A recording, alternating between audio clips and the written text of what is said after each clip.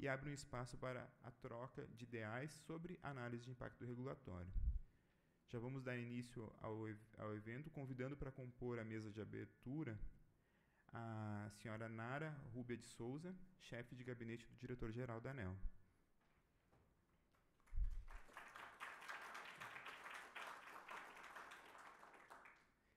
Na sequência, eu convido o senhor Marcos Bragato, superintendente de recursos humanos da ANEL.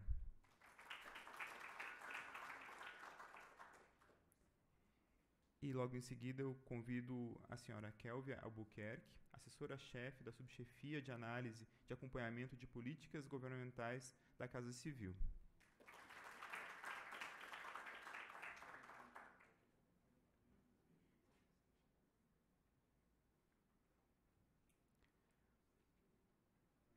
Convidamos nesse momento o senhor Marcos Bragato para fazer uso da palavra. Bem, bom dia a todos. É, bom dia aos servidores da ANEL, né, colegas aqui da ANEL, mas também os colegas das demais agências reguladoras que, que aceitaram o nosso convite, né, que aqui estão presentes. Bom dia também a todos os servidores que nos acompanham pela intranet. É, hoje, assim, é um dia de, é, de muita satisfação, acredito, principalmente a todos aqueles que concluíram esse, esse curso de especialização né, de análise de impacto regulatório. É, enquanto Superintendência de Recursos Humanos, é, nós sabemos da importância que é a qualificação do quadro da agência, né, que nós tenhamos cada vez mais um quadro bem formado, bem qualificado, e esse tema, análise de impacto regulatório, ele é um assunto que vem num crescente, que vem aos poucos é, tomando né, o, o espaço que lhe é devido. E é de suma importância, porque embora nós já tenhamos desde de longa data né, praticado assim boas notas técnicas, bons documentos preparatórios, mas a análise de impacto regulatório realmente vem complementar esse trabalho no sentido de é, oferecer previamente né, a todo o desenvolvimento da tese, previamente uma análise mais criteriosa das possibilidades, né, das opções. Então, cumprimento, parabenizo aí a todos vocês que concluíram esse curso, um curso que nós tivemos aí é, alguns é, é, alguns aprendizados, né? Porque todo todo pioneirismo tem o seu preço, né? Então nós sabemos que há muito uh, o que se melhorar em termos de, de, de, de refinamento mesmo desse desse trabalho, mas de qualquer forma uma etapa vencida, uma etapa bem concluída. Acho que hoje nós vamos ter oportunidade aí de conhecer de perto todos os trabalhos né, que foram produzidos. E eu não poderia deixar aqui também de destacar a equipe de capacitação lá da SRH. Lá em cima, gente, eu estou vendo daqui a Tatiana e o Eduardo. Né? A Tatiana é a coordenadora do núcleo de capacitação e o Eduardo foi quem acompanhou todo esse processo do curso de AIR, em contato tanto com a UNB como com os servidores, né? Então a gente observa que também há um trabalho grande assim que muitas vezes fica é, num, num, sem muita é, visibilidade, mas um trabalho que muito importante que precisa ser bem feito para que tudo possa é, ser concluído e nós chegarmos aonde nós chegamos hoje até esse dia e mais algum tempo os senhores vão estar recebendo aí os seus certificados, né? Então queria também fazer essa menção, é, viu Eduardo, em destaque aí toda a sua dedicação aí nesse processo e continue assim cada vez melhor. e, e é isso então que eu gostaria de dizer e colocar que a SRH está sempre é, de portas abertas, né? Essa é uma expressão que eu aprendi lá com a Mariana esse RH de portas abertas para qualquer demanda, para qualquer necessidade. E nós temos a felicidade de aqui na agência termos um, uma área de uma, um núcleo de capacitação que recebe uma generosa, é, um generoso recurso. Embora estejamos vivendo aí cortes orçamentários, claro que isso impacta, mas em termos de, de serviço público, né, a ANEL, sem dúvida, tá, está entre os órgãos que mais investem em capacitação, é, proporcionalmente ao seu quadro de servidores. É um orçamento realmente muito maior do que muitas outras unidades é, de destaque do serviço público. Então, é importante que a gente continue com essa com essa política, né? É, dentro do planejamento estratégico, recursos humanos entra lá como suporte para que a gente possa, né, ter um quadro bem qualificado, bem formado, é, que se sinta bem dentro da, do ambiente de trabalho, com qualidade de vida. E é importante, então, destacar também que a diretoria da agência tem é, proporcionado essa possibilidade de que nós né, tenhamos os recursos necessários para desenvolver esses trabalhos. Então é isso, eu gostaria de agradecer também a oportunidade de estar aqui participando desse evento, que todos nós tenhamos aí um excelente dia e de muito muito produtivo e de grande aprendizado. Obrigado a todos. Devolvo a palavra então ao Marcel. Muito obrigado, Bragato. Uh, eu passo agora a palavra à senhora Nara Rubia de Souza para proferir suas considerações. Bom dia a todos. É, mais uma vez, é, bom dia para aqueles que eu não falei bom dia de novo para aqueles que eu já cumprimentei. É, queria primeiramente parabenizar aos senhores, aos alunos do curso de especialização em AIR, né, que desde setembro de 2015 estão aí nessa luta, fazendo um curso que foi puxado, foi trabalhoso, foi difícil, junto com as atividades da ANEL, que a gente estava comentando aqui com a Kélvia no, no, no, início do dia aqui, que a gente está com, estamos com vários eventos em paralelo, cursos importantes acontecendo em paralelo a esse evento, enfim. Então, a, a gente não, não, tem, não tem tédio aqui na ANEL, né? A gente tem... O que a gente pode dizer aqui na ANEL que a gente não tem, morrer de tédio aqui na ANEL a gente não morre. Então, a gente está sempre participando de dois, três, quatro eventos em paralelo, corre aqui, corre ali, enfim. Então, eu queria agradecer a presença de vocês que vieram prestigiar o evento. É, parabenizar então os alunos do curso que conseguiram chegar ao fim, como o Bragato já comentou, né, com, com algumas dificuldades, algumas coisas boas, algumas coisas ruins, ou seja, vocês foram os pioneiros né, desse, desse curso, então é, coisas boas acontecem, coisas ruins acontecem, mas vocês chegaram ao fim, todos já, é, com exceção acho que de um ou dois que já defenderam lá as suas teses junto ao INB. Né? Então, parabéns com louvor aí para todos vocês que conseguiram chegar a esse fim. É, em nome do Dr. Romeu, eu queria é, comentar com vocês que a, estava previsto ele estar tá aqui na abertura desse evento, mas ele acabou tendo que sair mais cedo lá para a Câmara dos Deputados. Foi marcada uma, uma reunião lá com, com os deputados de última hora. Ele foi defender um assunto bastante importante para a ANEL, que é o PDC 10. Então, é um assunto que, que o único horário que conseguiu para ir lá defender esse assunto para a ANEL, que recentemente foi decidido aí na reunião pública. É, então, ele pede, pede desculpas para vocês, mas amanhã, no encerramento, na hora da entrega dos certificados para vocês, vamos ter uma solenidade aí ao final da parte da manhã, de amanhã, por volta de 11h30. É, teremos aqui a presença do Romeu, do André e do Jurosa para poder entregar para os senhores o certificado de, de conclusão do curso. Na verdade, é o certificado de apresentação, né, é o certificado de participação neste seminário, porque o certificado de conclusão do curso pelo ONB vocês vão receber lá para julho, agosto, quando a ONB prometeu que entrega os certificados para vocês, né, o certificado realmente de conclusão do curso pela, emitido pela ONB. Mas amanhã, no final da manhã, vocês vão receber um certificado de apresentação dos trabalhos aqui na ANEL, e aí vão receber da mão dos diretores. Tá?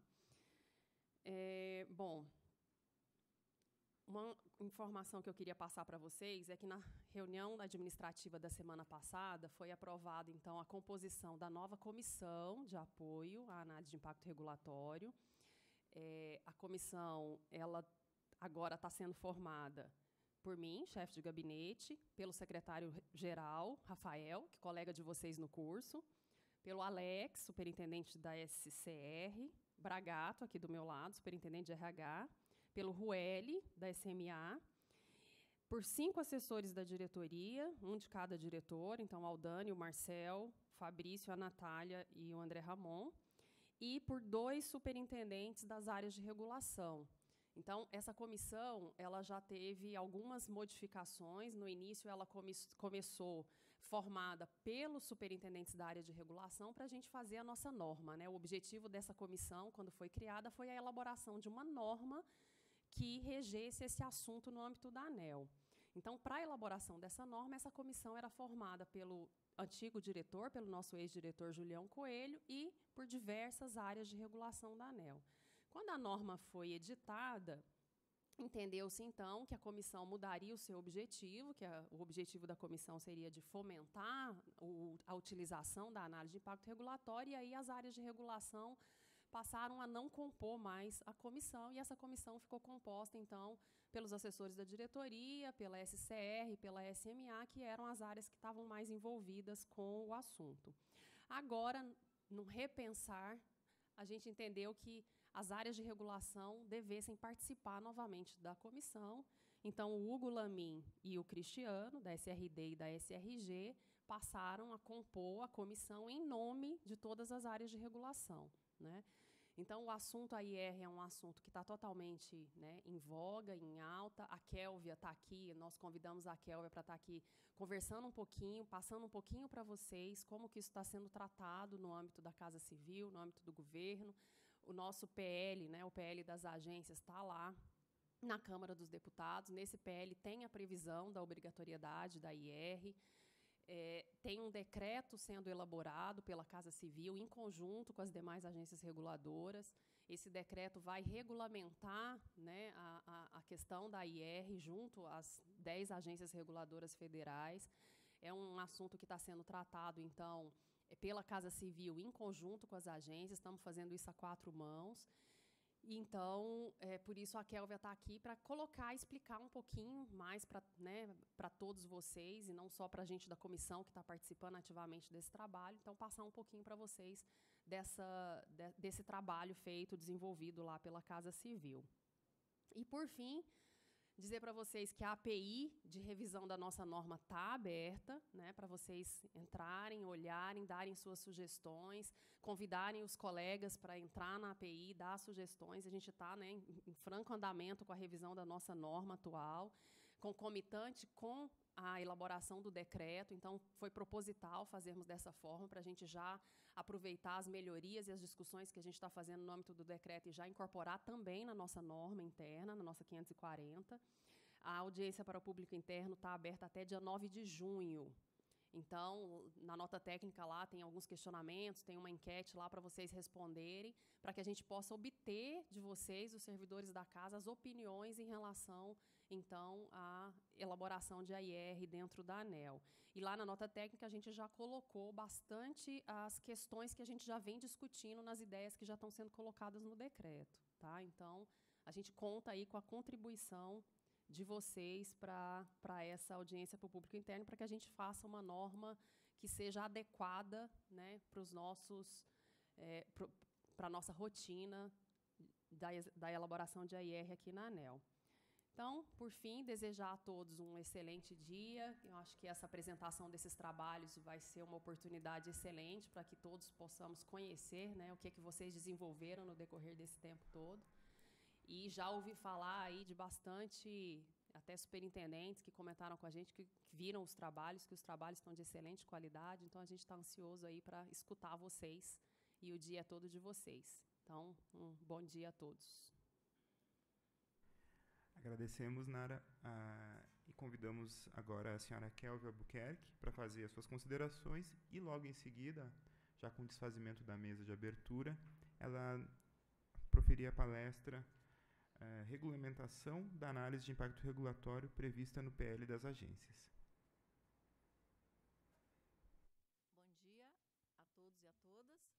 Eu, eu queria só combinar com vocês, eu falo umas palavras introdutórias aqui de, já que a, a, a, parte principal desse evento é nos aproximarmos todos análise de impacto regulatório, eu vou descer e eu vou falar, vou fazer minha apresentação mais próxima aí de baixo, com o microfone sem fio. É, em primeiro lugar, eu gostaria de agradecer a oportunidade é, de estar participando desse evento, um evento que é inovador e pioneiro, né, porque nós estamos aqui para ouvir apresentações que são resultado de uma iniciativa realmente pioneira. É o primeiro curso que se tem notícia no Brasil de especialização em análise de impacto regulatório. Então, eu gostaria de agradecer a ANEL, tanto pelo convite quanto pela iniciativa. Realmente, nós vamos ver hoje, eu espero passar para vocês algumas mensagens nesse sentido, quanto a análise de impacto regulatório é importante para todos nós.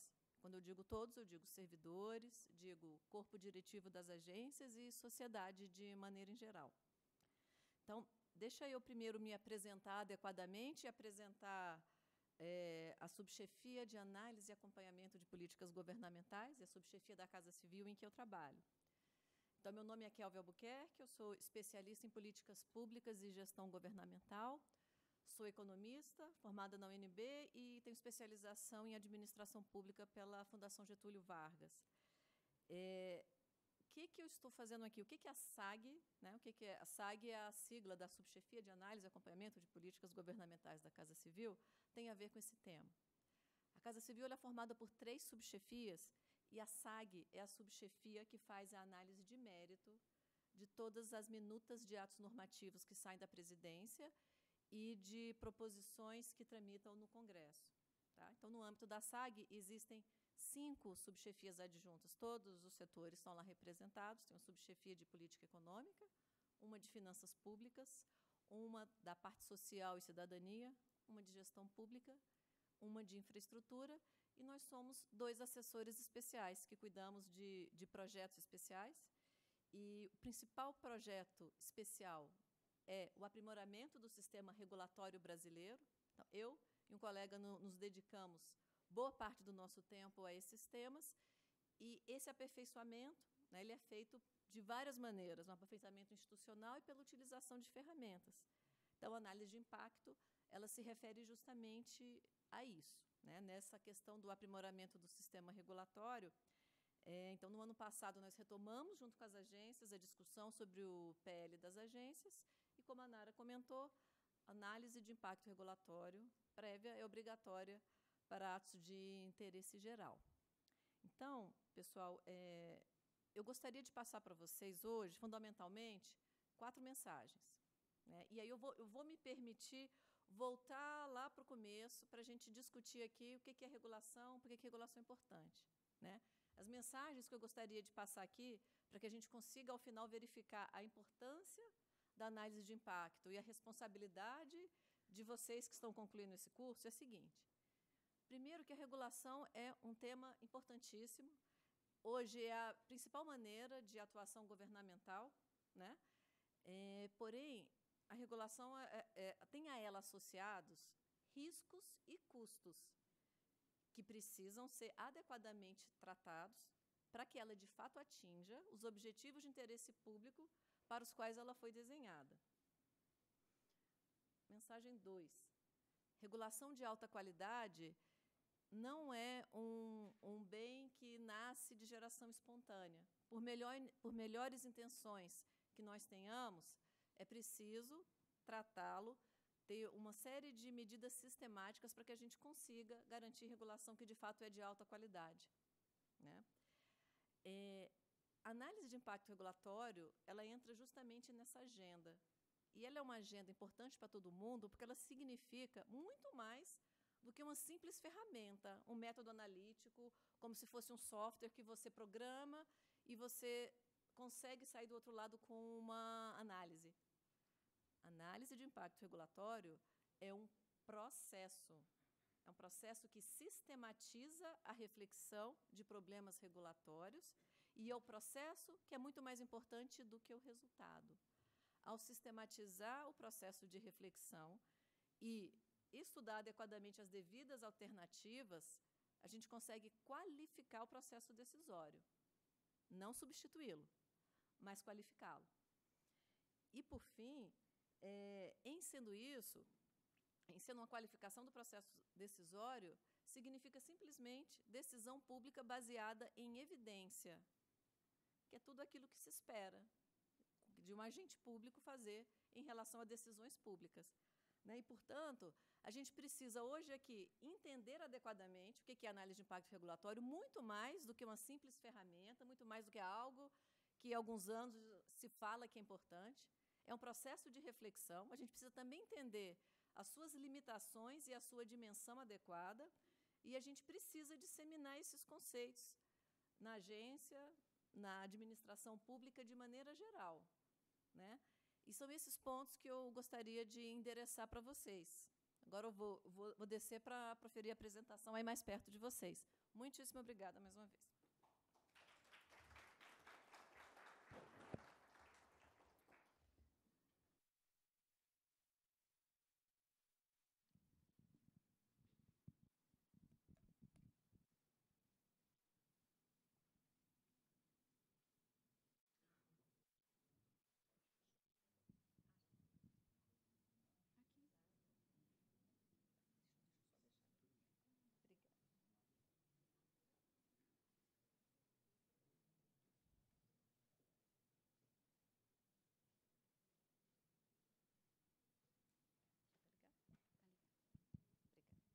Bom, começando então com a apresentação propriamente dita, é, eu, eu, gosto de começar, às vezes, as, as, apresentações com, com essa sentença, porque é uma sentença de impacto. Né? A gente normalmente está acostumado a prestar muita atenção nos programas que geram dispêndio público e menos atenção nos programas que são reguladores. Então, é muito importante que a gente comece a prestar atenção nos programas reguladores, porque se eles não têm impacto direto e restrição orçamentária tem pouco impacto nos, nos programas orçamentários, o, no, nos programas reguladores, o programa regulador ele impõe um custo, seja aos agentes econômicos, seja aos cidadãos. Então é bom que a gente perceba que realmente a, a regulação, como, como eu falei antes, ela não cai livre espontaneamente. A regulação ela tem tanta importância ou mais que as discussões sobre orçamento. Isso quem falou eram alguns anos atrás, no Reino Unido, existia esse, esse órgão que, que deu início, na verdade, a esse debate lá. Hoje, com as modificações institucionais, esse órgão foi substituído por outros, mas a reflexão é exatamente a mesma.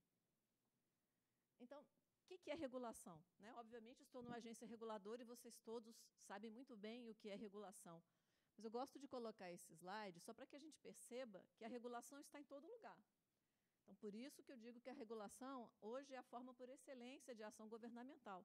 Mesmo que a gente não perceba, existe regulação em tudo que a gente faz, em muitos dos lugares que, que a gente frequenta. Né? Seja na vertente econômica, seja na vertente social, seja na vertente de regulação administrativa. Né? E aí eu uso uma, uma definição da OCDE. Por que, que eu estou batendo na tecla sobre a importância da regulação? Porque, de fato, ela tem um papel hoje fundamental como instrumento por meio do qual os governos promovem o bem-estar econômico e social dos seus cidadãos. Né? Hoje, com as economias cada vez mais complexas e com desafios globais, a regulação é um instrumento da ação governamental por excelência. E isso tudo está documentado na literatura nacional e internacional. Existe um acréscimo, um crescimento muito grande dos sistemas regulatórios ao longo das últimas décadas, tanto em termos quantitativos quanto em termos de áreas que a regulação tem abrangido. E aí, né, por que, que a gente precisa prestar atenção com a regulação? Quais são os riscos que são associados a ela, por melhores intenções que se tenham? Né? A regulação ela pode acabar se transformando para um obstáculo para aquilo justamente que ela gostaria de, de resolver. Porque ela pode ser excessiva, ela pode onerar e criar barreiras desnecessárias ao comércio, à concorrência, ao investimento e à eficiência econômica, e pode acabar impedindo a inovação. Então, por que isso acontece? O ritmo hoje das inovações tecnológicas e das modificações, dos novos inventos, ele é muito grande. Então, a regulação está sempre, de alguma maneira, correndo atrás desse ritmo e esse risco ele é sempre presente. Por mais que a gente atualize a regulação, os regulamentos, a gente está sempre correndo atrás de inovações que todos os dias, com as quais todos os dias a gente se depara. A gente tem a dificuldade característica de coordenação de níveis de, de, de governo, a gente tem também a pressão de grupos de interesse, né? temos o efeito que a regulação pode exercer sobre pequenas e médias empresas, temos inadequações do desenho ao, ao objetivo almejado, e o fato de que a regulação não implica impacto fiscal direto, na maior parte das vezes, ao governo, mas implica sim custos ao cidadão e ao agente privado, faz com que ela tenha aquelas características bastante interessantes, né, que eu comentei. O custo dos programas reguladores não é absorvido por quem os propõe, é absorvido por outros. Né? Então, nós, todos aqui, vocês na agência, eu lá na Casa Civil, nós editamos regulamentos, mas o custo desses regulamentos, ele, normalmente, ele é absorvido para aqueles a quem eles se, eles se direcionam. E as restrições orçamentárias têm muito pouco impacto na, na regulação. E aí, nem o parlamento, nem o governo, de alguma maneira mais sistemática, determinam algo como se fosse um, um orçamento regulador. Não existe um órgão responsável por estabelecer prioridades da política regulatória como um todo. E os programas de regulação não são sujeitos a controles específicos, né, diferentemente do que ocorre com os programas orçamentários. Isso aí, pessoal, é apenas uma constatação. A gente precisa lidar com isso. Né? A regulação, então, tem um custo que é relevante, ele é mais ou menos oculto, porque ele é pouco medido e pouco discutido, ao contrário dos programas orçamentários, que a gente sabe exatamente o quantitativo de, de dispêndio em cada um deles. Então, é, isso não é novidade. Para lidar com esse tipo de questão, já existe um debate internacional há muitos anos. Né? Vocês vão ver aí referências constantes ao CDE, Organização para a Cooperação e Desenvolvimento Econômico, porque é o organismo internacional precursor desse debate ainda na década de 90. Né? Para lidar com essas características da regulação, então, surgiram uma série de medidas. Né? Programas foram sendo criados em, em vários países, independentemente de, de ideologia, independente de, de vertente política. E isso virou uma agenda pragmática de crescimento econômico. E esses programas, eles acabam, qual é o objetivo deles? estabelecer mecanismos de supervisão e de transparência contínua sobre o processo regulatório, com o propósito de sistematicamente controlar sua elaboração, ou seja, a forma como as normas e a regulação são elaboradas é importante. Avaliar seus resultados e tornar explícitos os seus custos e os seus efeitos para diferentes grupos sociais. Então, tem, tem diversas maneiras de falar a mesma coisa e diversos nomes que essa agenda acaba ganhando dependendo do local do mundo que a gente está falando. Né? Uma outra maneira, também de, definição da OCDE, é dizer que esses programas, então, de melhoria regulatória, ou de melhoria da qualidade da regulação, são conjunto de medidas sistemáticas que aumentam a qualidade da regulação, melhoram o desempenho, o custo-efetividade ou a qualidade legal da regulação e das formalidades burocráticas associadas. Então, aqui no Brasil, a gente fala muito melhoria regulatória, reforma regulatória. A OCDE usa muito a expressão política e governança regulatória. E países europeus gostam de usar better ou smart regulation. Estamos falando da mesma coisa e análise de impacto regulatório é um dos itens dessa agenda. É, também documentado pela OCDE, esses programas começaram a ser utilizados porque, como eu disse, eles têm um, um efeito prático. Então, se verificou, existe documentação sobre isso, que esses programas, na verdade, eles contribuem para o bom desempenho das economias e dos governos.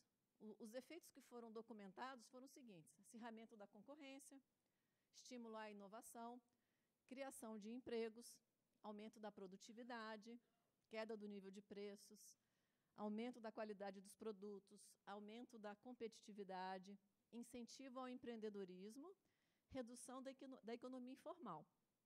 Isso tudo apontando para o crescimento econômico, que acho que é uma coisa que a gente anda procurando. Né? É, no mundo de restrição fiscal, essa agenda ela se torna ainda mais importante, porque se você não tem como ter recursos para investimentos, gostando ou não da agenda, ela tem uma característica muito pragmática.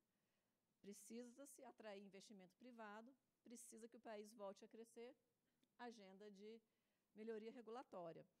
É, esse tema não é novo, pessoal. Há 10 anos atrás, na OCDE, a gente já falava sobre isso. Né? Essa discussão ela, é, ela não é nova, ela existe já no Brasil mais ou menos por, por, essa mesma quantidade de tempo, já tem uns 10, 12 anos que se discute isso. E o que a gente está fazendo agora é retomar e dar bastante foco à discussão. É, eu vou chamar um pouquinho a atenção aqui da, da OCDE, apenas porque, como, como eles são os precursores nessa temática, eu, é, e o governo está é, analisando de maneira é, bastante objetiva a possibilidade de solicitar adesão à organização, eu optei por colocar dois slides explicando só um pouquinho sobre a OCDE e por que ele é um benchmark internacional importante. Então, bom, hoje a OCDE é um organismo internacional composto por 35 países membros, é uma instituição que dispõe de grande credibilidade internacional e lá é, é um espaço, né, muitas pessoas da ANEL já participaram de reuniões, lá é um espaço de cooperação, diálogo, intercâmbio de informações. Lá não é um ambiente negociador, né, lá não se, não se discute é, acordo de comércio internacional, lá é um ambiente de discussão, de disseminação de conhecimento, definição de padrões de boas práticas internacionais.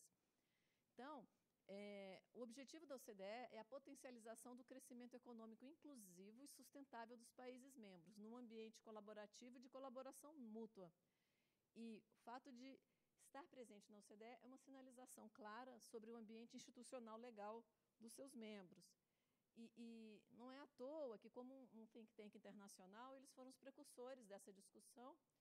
É, hoje existe um comitê específico de política regulatória que cuida desse tema, né, nós estamos acompanhando as, as discussões e vários documentos desse comitê e da OCDE, de maneira geral, pautam as nossas discussões. É, o Brasil hoje já participa de várias instâncias da, da OCDE, o Brasil é o país não membro que participa do maior número de instâncias e que já aderiu ao maior número de recomendações da OCDE.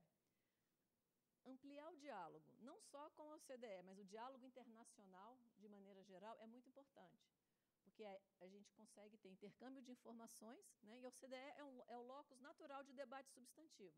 Quando a gente vai participar de uma reunião na, na OCDE, a gente encontra os nossos pares. Então, quando a ANEL participa de reuniões da OCDE, por exemplo, no grupo de reguladores econômicos, a ANEL encontra os seus pares, outros reguladores econômicos, de países da OCDE ou de países observadores. Daí porque a discussão ela é muito técnica e muito rica. Então, é, apenas se vocês tiverem curiosidade, eu coloco ali o link para o site da OCDE, em que vocês podem ver todos os 270 instrumentos legais que a OCDE tem, sobre todos os ramos de política que vocês podem imaginar. Existem dois sobre política regulatória, e nesse link vocês podem verificar todos os 270. Então, é importante que o Brasil ouça e se abra para o mundo e que receba as informações mas não só que receba as informações, mas que se posicione e se faça entender melhor pelo mundo também.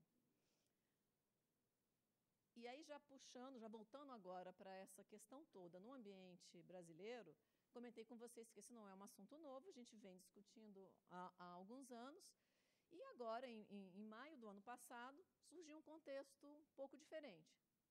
Era um governo novo, uma grave crise econômica, restrição de recursos, prioridade para a geração de emprego e atração de, de investimento privado. E ficou muito claro a oportunidade para a gente fazer avançar a agenda de melhoria da qualidade da regulação, que é fundamental para a melhoria do ambiente de negócios. E foi assim que esse tema voltou à tona. É, esse tema hoje, a melhoria do ambiente de negócios, é um, uma prioridade que é acompanhada diretamente na Casa Civil. Existem alguns programas prioritários que são acompanhados diretamente pela Casa Civil, e dentro da vertente econômica, esse é um dos programas que são acompanhados. É, outras medidas também têm sido feitas, em estudo desde o ano passado, várias já publicadas, medidas de aprimoramento de marcos regulatórios específicos, a criação do programa de parcerias de investimento e a Lei Geral das Agências Reguladoras. Um debate também antigo, tem 12 anos que se fala desse tema, né? que se discute. A primeira vez que o projeto foi proposto pelo governo foi em 2004. Depois, ao longo do tempo, o texto foi aperfeiçoado e, no final das contas, ele acabou sendo retirado em 2013 e foi reapresentado também em 2013 pelo senador Eunício Oliveira. E no ano passado foram retomadas as discussões, a SAG coordenou essas discussões com todas as agências, com o Ministério da Fazenda, com o Ministério do Planejamento e com a equipe técnica do, do Senado. Esse PL ele tramitou na Comissão Especial do Desenvolvimento Nacional do Senado e foi aprovado, então, em turno suplementar em dezembro do ano passado e foi remetido à Câmara, onde ele está hoje, com outro número, o número na Câmara é 6621, de 2016, e aguarda a definição de, de comissão especial para analisá-lo. Então, só para não perder a oportunidade de mencionar os principais pontos aqui do PL, né, o PL daria por si uma, uma outra apresentação. É, o PL, então, ele diz que análise de impacto regulatória prévia à edição de atos normativos de interesse geral e obrigatória, e o PL também fala da efetivação da autonomia orçamentária e administrativa, fala de requisitos técnicos para indicação do corpo diretivo, padronização do tempo de mandato, padronização de vários itens e questões de governança. Né? Tempo de mandato em cinco anos sem recondução, hipóteses de perda, vedação para indicação e durante o exercício e quarentena de seis meses após o mandato. Fala também de transparência e controle social, consulta e audiência pública, ouvidoria autônoma e de articulação institucional com outros órgãos importantes, com os órgãos de defesa do consumidor, órgãos de defesa da concorrência e outros reguladores subnacionais. Então, pessoal, para resumir, o, o, o pilar desse PL é robustez de decisões regulatórias, amparadas pela análise de impacto regulatório, autonomia efetiva das agências e transparência e, e, e controle social. O que diz, então, o PL sobre esse tema? É, o que ficou no PL foi apenas um regramento mais geral. Né? E nós, no, o grupo que discutiu o PL, estabeleceu que o detalhamento viria por decreto. Então, é, o que está no PL é que é, é obrigatório, então, antes da edição desses atos, que deve conter informações e dados sobre possíveis, possíveis efeitos do ato, né? Que cada agência disciplinará o funcionamento interno no seu âmbito, via regimento, e que decreto presidencial regulamentaria o conteúdo, metodologia, requisitos mínimos a serem examinados, casos obrigatórios e casos dispensáveis. É, Aí eu trago mais uma vez, então, uma, uma definição da, da OCDE para mostrar que a OCDE chama, entende como análise de impacto regulatório, né? é o exame e a quantificação dos custos e benefícios prováveis decorrentes de novas normas ou de alteração em normas já existentes.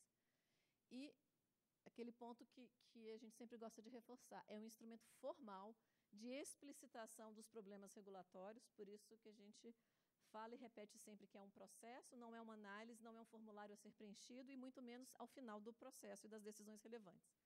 Né? É um processo é, em que se reflete sobre os problemas, né? são regulatórios, não são regulatórios. Às vezes a gente tem um problema que não é regulatório e a ideia é resolvê-lo de maneira regulatória. Né? Então a gente precisa se debruçar sobre o problema que se quer resolver, quais são as opções disponíveis, entre elas não fazer nada, Muitas vezes, não fazer nada é uma opção de maior valor agregado. Né? É, em cada caso concreto, utilizando dados e informações empíricas. Por isso que qualifica o processo decisório, informa a decisão, mas não a substitui. Esse é um ponto também muito importante que a gente precisa entender, né? a limitação e a dimensão da análise de impacto. Ela qualifica como análise técnica, mas quem toma a decisão efetivamente é quem tem que tomar. Né? Então, é, que, a SAG percebeu? Então, começo deste ano, PL na Câmara dos Deputados, a gente percebeu que a gente não tinha mais tempo para esperar. Né? É uma agenda de Estado, então que a gente precisava avançar nessa, nessa discussão. Né? Não foi um tema fácil na, na, na discussão do PL, e a gente percebeu e resolveu até fazer um exercício. Vocês vão ver que o que a gente fez nessa fase prévia de elaboração do decreto foi quase uma análise de impacto regulatório. A gente percebeu o seguinte: não existia ninguém, nenhuma agência, nenhuma organização, nem a BAR, ninguém conseguia explicar de maneira global em qual estágio estávamos com as agências reguladoras em relação à análise de impacto. quais agências faziam, quais não faziam, quais eram as regras, tinha normativo legal, não tinha, né, quais eram as hipóteses de, de isenção. Então, não existia isso. Então, nós, no lugar de quem está regulando né, qualquer matéria, nós pensamos como é que nós vamos regular algo que a gente não, não, não conhece o que está acontecendo nessa realidade. Né? Então, nós propusemos, nós propusemos fazer o seguinte, bom, se não sabemos como estamos, vamos procurar saber. Então, nós montamos um questionário com várias perguntas de todas as ordens, depois eu vou passar rapidamente sobre os temas abrangidos, para que a gente pudesse entender em que pé estávamos na análise de impacto regulatório nas 10 agências reguladoras federais brasileiras. Né? E a gente propôs o seguinte: bom, então vamos mandar um questionário, mas vamos também retomar as discussões do grupo de discussão, porque as agências estavam se reunindo pouco, uma pessoa já não sabia quem fazia análise de impacto regulatório numa agência, já não tinha noção perfeita de quem fazia em outra. Então, nós retomamos esses contatos e, após o mapeamento, a gente conseguiu, de fato, saber o que acontece nas agências. Aí são os temas, depois vocês dão uma olhadinha, eu vou me apressar aqui para não, não passar do, do horário. Nós perguntamos sobre tudo isso, tá? e nós tabulamos. A ideia não é que vocês leiam, mas apenas que vocês percebam é, o resultado do trabalho que foi feito em conjunto com todas as agências em reuniões semanais, é, em, nas quais, em cada reunião, duas agências apresentavam é, as respostas ao questionário e como estavam encaminhando o tema análise de, de, impacto regulatório. Então, nós temos aí agora, nós sabemos todas as agências como fazem, quantas fizeram, quais são os casos emblemáticos, em que situação fazem. Então, agora nós sabemos. Né? Nós, não a Casa Civil, o grupo de discussão sabe exatamente como está a análise de impacto regulatório no Brasil. Então, é, resultado desse trabalho também foi o mapeamento, né, de, com esse mapeamento a gente conseguiu ter lições aprendidas e a gente conseguiu é, apontar essas lições e a minuta de decreto que a gente já redigiu e ofereceu para o grupo que está em discussão é absolutamente aderente a todas as conclusões desse trabalho do grupo. Então, é, foi verificado de maneira muito contundente né, a importância da institucionalização da, da análise de impacto, ou seja, é importante torná-la obrigatória, sim, embora todas as agências, de maneiras diferenciadas, façam análise de impacto regulatório hoje, na importância tanto do corpo diretivo quanto dos servidores entenderem a importância. Se a gente for cuidar da análise de impacto regulatório no final do processo, não precisamos fazer não, tá? Porque aí é só justificativa da ação. Aí é exposição de motivos, não é análise de impacto regulatório. Para que ela surta efeito, se a gente decidiu se a opção do país é fazer, a gente precisa fazer direito. Né? Então, é muito importante ter essa consciência do corpo diretivo e do corpo de servidores, da importância desse, desse instrumento. É, a implementação deve ser gradual e progressiva. A gente verificou que as agências fazem as análises de impacto regulatório hoje em níveis diferentes de maturidade e de abrangência é, o processo de tomada de subsídio, ou seja, as consultas à sociedade na parte anterior à consulta pública propriamente dita, são muito importantes. Né? Muitas agências, a maioria, se não todas, é, verificaram que existem muitos problemas de dados e informações, e a tomada de subsídio nessa fase é um importante elemento de busca de informações e, e de dados. É, e a gente sabe que existe um conflito grande entre a necessidade de fazer uma análise de impacto regulatório bem feita e a necessidade de fazer o normativo. Né? A gente sabe que isso é um conflito, então a gente precisa endereçar esses, esses problemas. Verificamos também a importância do arranjo institucional para a coordenação e acompanhamento dessas questões relacionadas à qualidade regulatória, a importância do planejamento e da agenda regulatória, capacitação com abordagem prática, estudos de caso, né? Capacitação sobre problematização, né? análise de impacto, ela começa do, do problema. Se a definição do problema não for adequada, a análise tem que começar praticamente do zero depois. E a dificuldade também, mostrada por todas as agências para realização de análises quantitativas, né? análises custo-benefício estrito senso. É, o que, que as agências apontaram, todas, né, a 10, isso aí é um, é um, um consolidado, o que, que era importante? Né? Vamos, então, redigir o decreto. O que é importante levar em consideração? Necessidade de flexibilização metodológica, né? a gente não poderia, numa versão anterior do PL, o PL fixava a metodologia a ser, ser utilizada, é, necessidade de previsão de casos de dispensa de AIR com maior objetividade, Importância da flexibilidade da ferramenta de participação social na fase que ainda não é consulta pública propriamente dita. Necessidade de previsão de mecanismos de monitoramento e avaliação ex post. Ainda estamos muito no início das avaliações ex post, precisamos também endereçar esse tema a consideração de que as agências têm graus diferentes de maturidade, né? fazem estágios diferentes e com maturidade e abrangência diferente. E necessidade de transparência e de simplicidade na, na, na, na redação do decreto. O é, que, que, a gente pode apontar como resultados desse trabalho, pessoal? Foi um trabalho e foi um, um, uma oportunidade de grande aprendizado. Né? A gente conseguiu instituir um espaço de diálogo técnico que é muito importante. Então, a gente conseguiu verificar várias coisas né, nesse, nesse aprendizado. Primeiro, que coordenação e interação sistemática não necessariamente significa controle e supervisão. Significa organização do trabalho. E alguém precisa organizar o trabalho. Né? Senão, esse, o, o, resultado do trabalho acaba ficando muito disperso. É, a rede que nós temos entre as agências ela é fundamental. Né? Então, é, essa rede foi retomada. É muito importante discutir princípios primeiro, depois o texto legal. Essa é uma experiência que a gente teve tanto no PL quanto no decreto. Né? É um ambiente de aprendizado mútuo e benchmarking. As agências agora dialogam mais, não só no que se refere à análise de impacto, mas também sobre outros temas.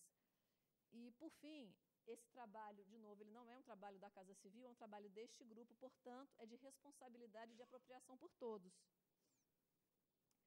Aí a gente tem um, um cronograma que eu vou, vou resumir para vocês, para a gente acelerar. Né? O cronograma foi apresentado num workshop que a gente fez, depois dessa rodada de reuniões com as agências.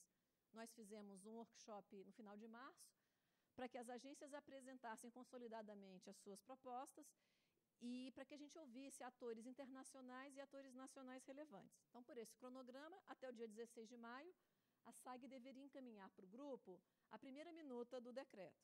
Então, nós o fizemos. A SAG também precisa é, montar um plano de capacitação que englobe alguns itens, né, que englobe capacitação em todos os níveis, uma capacitação geral para que todo mundo entenda, todos os servidores, os que cuidam de análise de impacto regulatório e os que não cuidam, por que essa é uma ferramenta importante e por que ela deve ser utilizada no início do processo. Né? A gente precisa fazer isso, precisamos ter oficinas de problematização, precisamos ter cursos avançados como o que vocês fizeram, né? porque senão é, a gente não precisa fazer análise custo-benefício em todos os casos, mas o que a gente verifica hoje nas agências é que quando o caso é adequado para análise custo-benefício, a gente ou tem problema de dado ou tem problema de, de, capacitação dos servidores. Então, as agências não podem estar limitadas, elas têm que ter tanto as informações quanto as pessoas capacitadas para fazerem análises avançadas nos casos em que a análise avançada for requerida. Nesse decreto, é, a gente então propõe seja feito exatamente o que a gente está dizendo que no PL das agências, o, o, as agências precisam fazer. Depois que o grupo definir a proposta, a, a gente espera colocar essa minuta em consulta pública ampla e restrita por 45 dias. E aí, nesse período, um subgrupo do nosso grupo estaria redigindo um guia de análise. Vocês vão ver que a, a redação que a gente optou por fazer em linha com o trabalho que a gente desenvolveu previamente é uma redação ampla, uma redação pouco prescritiva, para que a gente possa, então, permitir aprendizado ao longo do tempo e a construção de entendimentos em guias que são orientativos. E aí, se o cronograma todo estiver de acordo, né, a gente teria um, um, um lapso temporal para que esse decreto entre em vigor, para que haja tempo de preparação de todos, e então esse decreto, ou seja, análise de impacto regulatório é, uniforme para as agências reguladoras estaria em vigor em março do ano que vem. É, já falei. E a primeira minuta do decreto, só para vocês terem uma noção geral, uma minuta absolutamente aderente ao trabalho que foi feito, é, redação aberta e pouco prescritiva. Nós conseguimos, já para essa primeira minuta, alguns comentários da, da consultora Délia Rodrigo, e nós levamos em consideração e compartilhamos com o grupo, no sentido de que justamente adotássemos essa redação aberta, que permite aprendizado com o tempo, e que permitíssemos e que é, incentivássemos o debate sobre análise de impacto regulatório em separado do debate da consulta pública. Hoje, no Brasil, o debate sobre a análise de impacto regulatório propriamente dito é muito incipiente, porque normalmente ela é disponibilizada junto com a minuta de ato normativo. E a análise de impacto ela não concorre com o ato no, no, normativo, né? não tem como. Então, é, esse trabalho prévio que a gente fez, ele mostra, e aí vocês podem conversar com as pessoas da ANEL que, que participam do grupo, que por mais estranho que pareça, é, e aí eu, eu, me incluo nessa parcela, porque a gente está muito acostumado, já escrevi diversas minutas de portaria, a gente já pensa redigindo um dispositivo legal. Né? Quando, na verdade, a gente tem que estudar o problema e a consequência lá na frente vai ser a redação do, do decreto. A gente diz isso porque a gente alocou um tempo muito grande, foram dois meses de debate semanal com as agências, e eu digo para vocês que escrever o decreto não foi difícil, porque a gente simplesmente pegou o resultado do, do, do, do trabalho prévio e a discussão no grupo está caminhando tranquilamente. Óbvio que, que a minuta que nós apresentamos vai sofrer alteração, mas está absolutamente tranquila a discussão. Nós temos três capítulos, um com uma, uma um, definição e objetivo, um outro que fala propriamente dita da análise de impacto e uma que fala especificamente da participação social, na parte de AIR propriamente dita, e, e praticamente transcrevemos o dispositivo legal para consulta e audiência pública, que são os quesitos que estão constantes da lei. Então, eu estou à disposição para a gente continuar o debate sobre isso, é um tema importante. E vocês que fizeram o curso, passaram algum tempo sofrendo com excesso de matemática e estão achando que é, talvez seja difícil aplicar, esperem para ver, que vocês vão ter muita coisa para aplicar. Com certeza, hoje a gente já, já vai ver esse resultado. E análise de impacto é importante para todos nós, gente. Servidores, né, servidores que conseguem mostrar o seu trabalho de maneira técnica, corpo diretivo que, tem, que toma decisões de maneira mais qualificada, né? e nós precisamos ser agentes, aqui vocês que são pioneiros, concluíram agora a primeira turma, precisamos ser pioneiros dessa, dessa metodologia, que nada mais é do que decisão pública baseada em evidência. Muitíssimo obrigada, gente.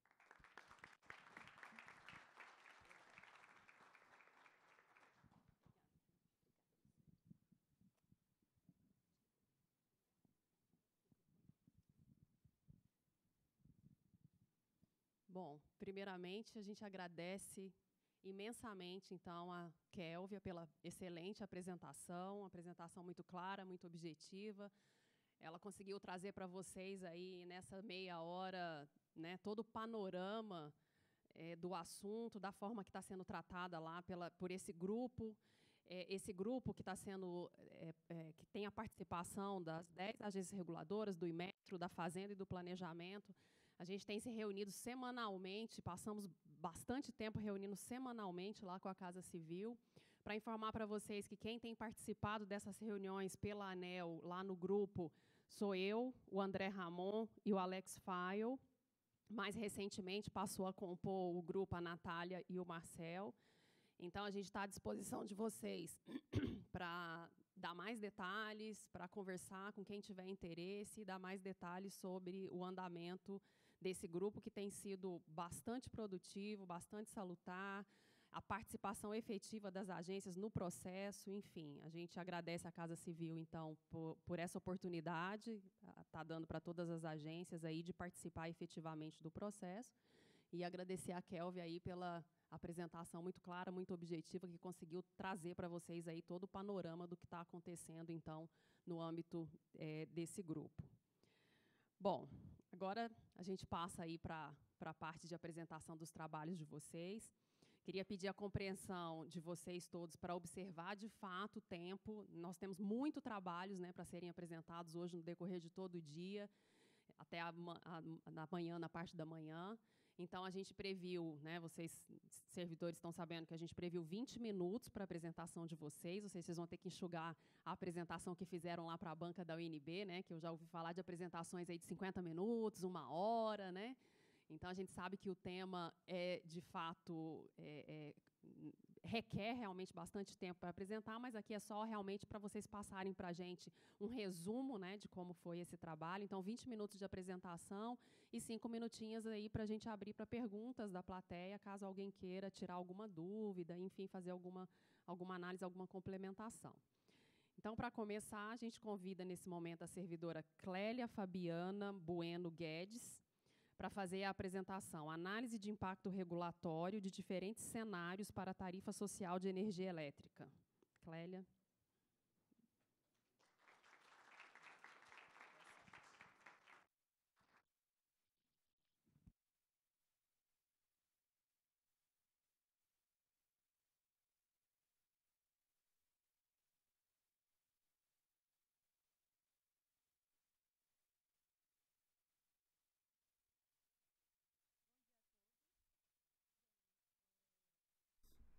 Bom dia.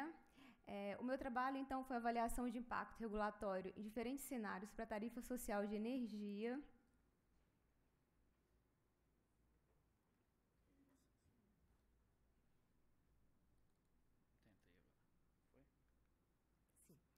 É, o objetivo do trabalho foi medir o impacto que a variação nas cotas da CDE uso causaria na tarifa social de energia medir o benefício social líquido da tarifa social por meio de análise de variações de excedentes de consumidor e avaliar como os custos e benefícios da tarifa social se distribuem entre os diferentes atores da sociedade, que é uma das, das perspectivas da análise de custo-benefício. Qual foi a justificativa? O que, é que me estimulou a fazer esse trabalho, a escolher esse tema? Em junho de 2016, foi é, 9,3 milhões de famílias recebiam a tarifa social de energia. Por sua vez, nessa mesma época, havia no cadastro único do governo 16,4 milhões de famílias elegíveis à tarifa e mais no, na base de dados de benefícios de prestação continuada, 1,9 milhões de consumidores. Esse é o público da tarifa social, o público elegível à tarifa. Então, acende-se uma luz que é uma, um gargalo de 9,1 milhões de consumidores que poderiam vir a pleitear a tarifa social e que hoje não estavam. Entender quem é esse público é um outro problema, de repente mereça um outro estudo. Mas como a tarifa tem um impacto, então quis estudar qual seria, o que, que aconteceria se esses 9,1 milhões de consumidores fossem incluídos à tarifa social. É, as fontes de dados utilizados para o trabalho foram o cadastro único, a base de junho de 2006, o cadastro único do governo, a base de benefício de prestação continuada do mês de maio, porque era a base mais recente que a gente dispunha, a base de consumidores da subclasse baixa renda disponibilizada pelas distribuidoras de energia também de junho, e foram utilizados dados do SAMP do ano de 2015 para estimar o mercado de 2016. Eu vou falar muito rapidamente aqui do histórico para não tomar muito tempo. Bem, a primeira vez que se, o governo falou de, de alguma política de, voltada para classe de baixa renda foi em 85, quando saiu essa portaria do DENAI determinando que a, o DENAI criasse uma do MME determinando que o DENAI criasse uma comissão para estudar uma tarifa de cunho social e como que, era, que ela deveria ser distribuída, mas que isso não resultou de fato de cara em muitas coisas. Lá em 90, só em 93 o DENAI é, editou essa portaria 922, determinando que as distribuidoras fizessem um estudo para concessão de tarifa social. E 95, só em 95, então quase 10 anos depois, foi criada a subclasse baixa renda, por meio dessa portaria 437 do DENAI. De fato, o marco histórico que institucionalizou a tarifa foi a Lei 10438 de 2002, que foi regulamentada pela ANEL, e no mesmo ano surgiu um acórdão do TCU questionando que foi encontrada baixa correlação entre o, a, a, forma de conceder a tarifa social e renda. Porque até então, como boa parte de vocês deve saber, a tarifa era assim, a, até 80, um consumo de até 80 kWh, independente de renda, a pessoa tinha direito à tarifa social. Muitos de nós aqui da ANEL que morávamos sozinhos, inclusive tínhamos tarifa social. Então, houve, havia uma distorção no modelo. Então, foi encomendado em 2006 um estudo para a UNB, que foi um estudo do perfil socioeconômico dos consumidores de baixa renda, para tentar analisar qual, de se de fato o modelo utilizado era eficaz e propor alternativas. Em 2010, só voltando um pouquinho para você ter uma ideia das distorções, é, em, em 97, a CEMIG tinha, que é uma, uma, uma empresa da, da, região sudeste, que é uma região rica, 80% dos consumidores da CEMIG eram classificados na subclasse baixa renda, ao passo que os consumidores da CEPISA, 0,13% dos consumidores da CEPISA eram classificados na, na subclasse baixa renda. Como era subsídio cruzado, então, a, a, ideia que se passa é, a forma, como tinham poucos consumidores, muitos consumidores na subclasse baixa renda, pra, é, e o B1 era, era pequeno para suportar todo o ônus da tarifa. Em 2010, então, foi publicada a Lei 12.212, que, ao que me parece, da leitura também do estudo, incorporou boa parte dos resultados desse estudo feito, do estudo feito pela UNB, e foi um, uma mudança de paradigmas, onde a tarifa passou, então, a, a seguir critério de renda para ser, ser implementada, e é o modelo que a gente usa até agora.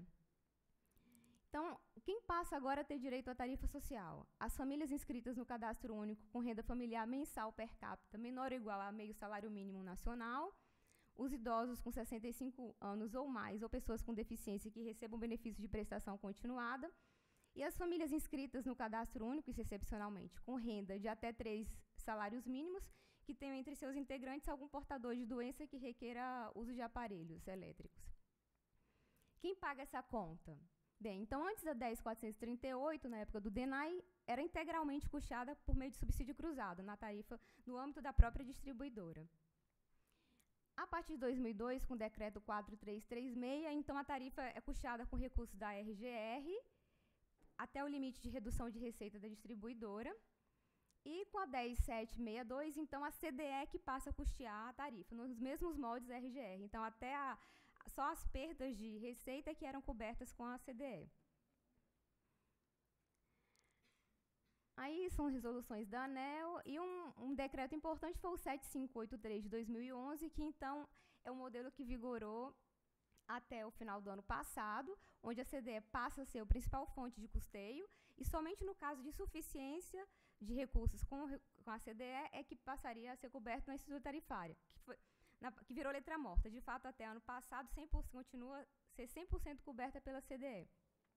A ANEL regulamentou a matéria e em 2013 volta um novo regulamento também que mudou bastante, que teve um impacto muito grande, que foi a lei do, a medida provisória 579 que foi convertida na lei 2783, que incorpora a CDE uma série de outros outros custeios.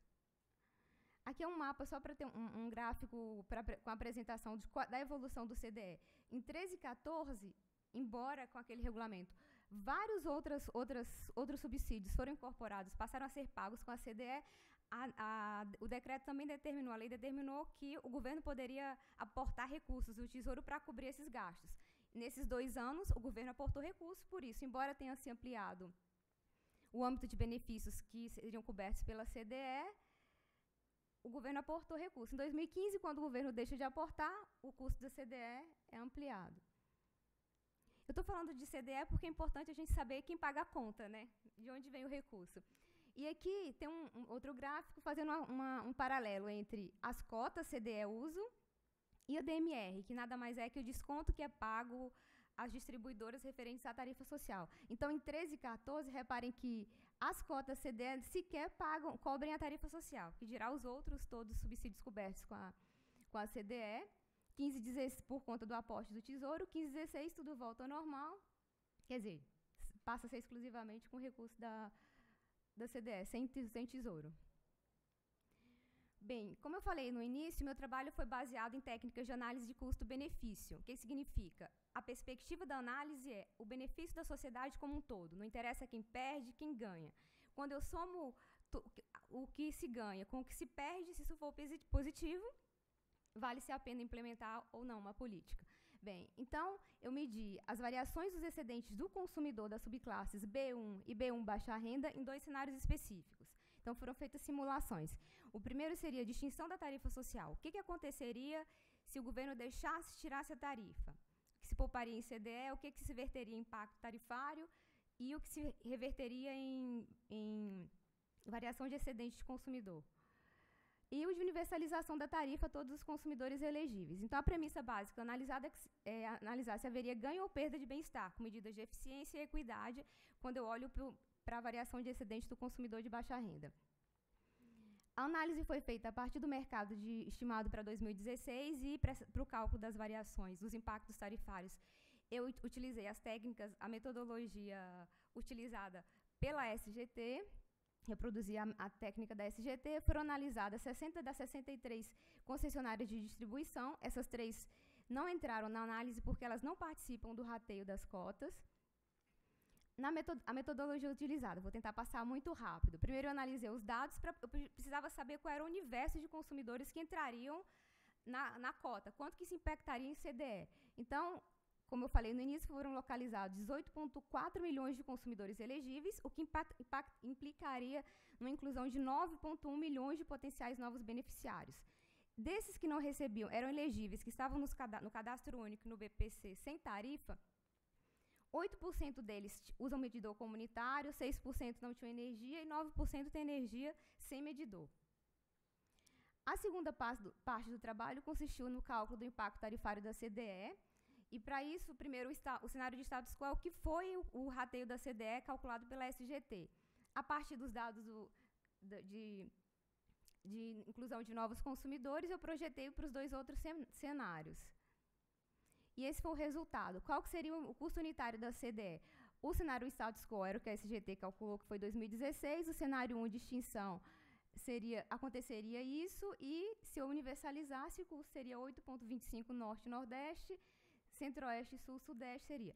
Um aspecto importante que eu quero destacar é que, reparem, que a cota do sul, sudeste e centro-oeste é 4,53 vezes maior que norte e nordeste sendo uma política distributiva, é assim que até dezembro de 2016 vigorava, e isso certamente lá na frente vocês vão ver que pode ter um impacto no meu trabalho, vai ter um impacto no trabalho. Então, as regiões mais ricas pagam, suportam uma parcela maior da CDE. Na fase 3, eu calculei então as novas demandas de energia. Então, de posse da tarifa média que eu calculei com, com os tributos, com os dados do SAMP, eu cheguei com os dados de impacto tarifários calculados na fase anterior ao preço final da energia, que seria a tarifa final, e a partir daí, utilizando os índices de elasticidade de um trabalho já feito, eu não calculei a elasticidade, usei um trabalho já pronto, seriam esses números utilizados. E na etapa 4, foram, eu calculei quais seriam as variações de acidência do consumidor das subclasses residencial e baixa renda o cenário de referência sempre era o cenário de status quo, e para distribuir aqueles 9,1 de consumidores, eu fiz um, entre as, as 60 distribuidoras, eu fiz uma proxy por, por município e área de concessão. Esses foram os resultados, não tenho a pretensão de que vocês leiam esses, todos esses números, nem vou entrar nos detalhes, só quero que vocês observem que no cenário de extinção, o B1 ganha excedente naturalmente, porque ele deixa de pagar a CDE, o, B, o baixa renda deixa de existir, então ele vira B1, ele perde excedente de consumidor. No, aí aí está por distribuidora. No cenário de universalização, o B1 perde excedente naturalmente também, porque eu incluo mais consumidores nessa conta. O baixa renda, como até dezembro de 2016 ele também pagava CDE, ele perde baixa renda. E o novo baixa renda, que era o consumidor B1, é aquele que está lá no cadastro e não solicitou a tarifa, ele ganha excedente. Depois eu vou fazer umas contas com esses números todos, soltar aí distribuidora, distribuidora. É, na etapa 5, então, eu fui fazer a análise de custo-benefício propriamente dita a partir dos, das variações de excedente. Esses foram os resultados encontrados. Reparem que nas distribuidoras em que houve um trade-off, que no cenário de extinção da tarifa, apenas essas distribuidoras, se eu extingo a tarifa, elas ganharam variação do excedente total, elas tiveram ganharam eficiência, mas todas perderam em equidade. O baixa renda sempre perdeu o bem-estar pela perda da tarifa. Aqui uma continuação. Repare que todas são distribuidoras do Sudeste, do Sul e do Centro-Oeste, com exceção da primeira lá, que era a CEA, mas que é um caso à parte, enfim, são, são detalhes de, de, de, do modus operandi da CEA. É, e no cenário de extinção da tarifa, no cenário de universalização, esses foram os resultados. Aí se inverte. Se eu universalizasse a tarifa, todo, todas as distribuidoras ganhariam excedente total, ou seja, ganhariam bem-estar, porque o público, como a maioria dessas distribuidoras aí das regiões mais pobres, elas têm um público de baixa renda muito grande, é, eu mandando a plaquinha, estou ficando desconcentrada. então, a quantidade de gente que vai custear aí, as, as, que, as, que, as que tiveram, na verdade, um trade-off, reparem de novo, são em geral as mesmas, são empresas do sul, sudeste, que têm um público de baixa renda, um, um, uma quantidade de consumidores de baixa renda pequenos E, ao mesmo tempo, elas têm um ônus de custear a tarifa para um, um, bem maior também para as outras regiões, já que pagam 4,53 vezes mais CDE que as demais regiões. Aqui tem um breve resumo dessas distribuidoras em que houve ganho de houve trade-off, ganharam eficiência, ganharam excedente, mas perderam é, equi, em equidade no, no, perfil de sem baixar renda, no cenário sem baixar renda, e no de universalização. Na análise agregada, quando eu somei todas as distribuidoras, no cenário de extinção, houve perda do excedente do consumidor, e no cenário de universalização, houve ganho de excedente, tanto para o total, que seria a sociedade como um todo, somando os, os, as, o, as perdas do B1 com os ganhos do baixa renda, e o baixa renda naturalmente ganhou. Bem, os resultados do meu trabalho não foram, não eram os esperados. É, o que leva também a perceber, será que a gente não fazer a IR, enfim, a gente deduz às vezes coisas sem análise de dados que podem não ser, podem ser equivocadas. Bem, no cenário de extinção, 36% das distribuidoras tiveram ganhos de eficiência com perda de equidade, ou seja, baixa renda perdeu. E a maioria das distribuidoras, 64% delas perderam tanto eficiência quanto em equidade.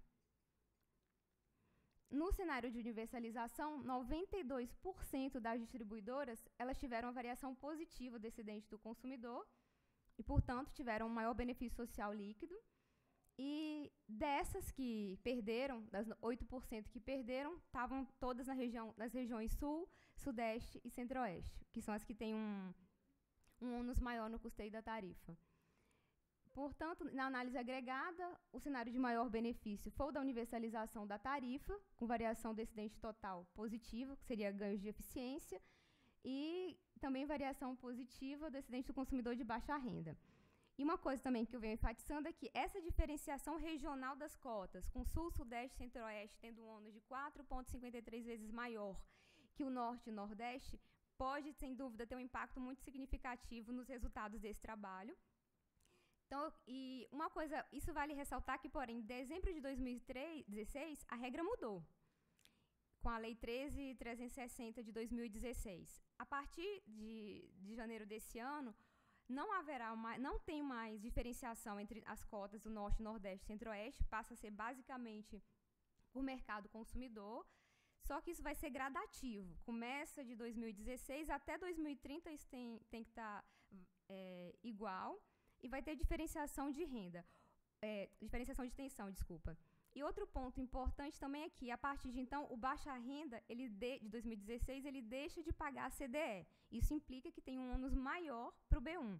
Então, todos esses pontos eu acho que merecem destaque e valeria a pena um estudo futuro repetir talvez a análise nesse novo cenário com a mudança, com essa mudança que ocorreu em, nove, em novembro de 16 para reproduzir, então avaliar qual cenário. Eu estou dizendo que tem que universalizar para todo mundo, tem que dar tarifa? Não. Esses foram análises. Se a gente analisa a perspectiva de medida de bem-estar, de variação de excedente, sendo a tarifa social uma política pública distributiva, esses foram resultados com base no que vigorava até novembro de 2016. Bem, é isso.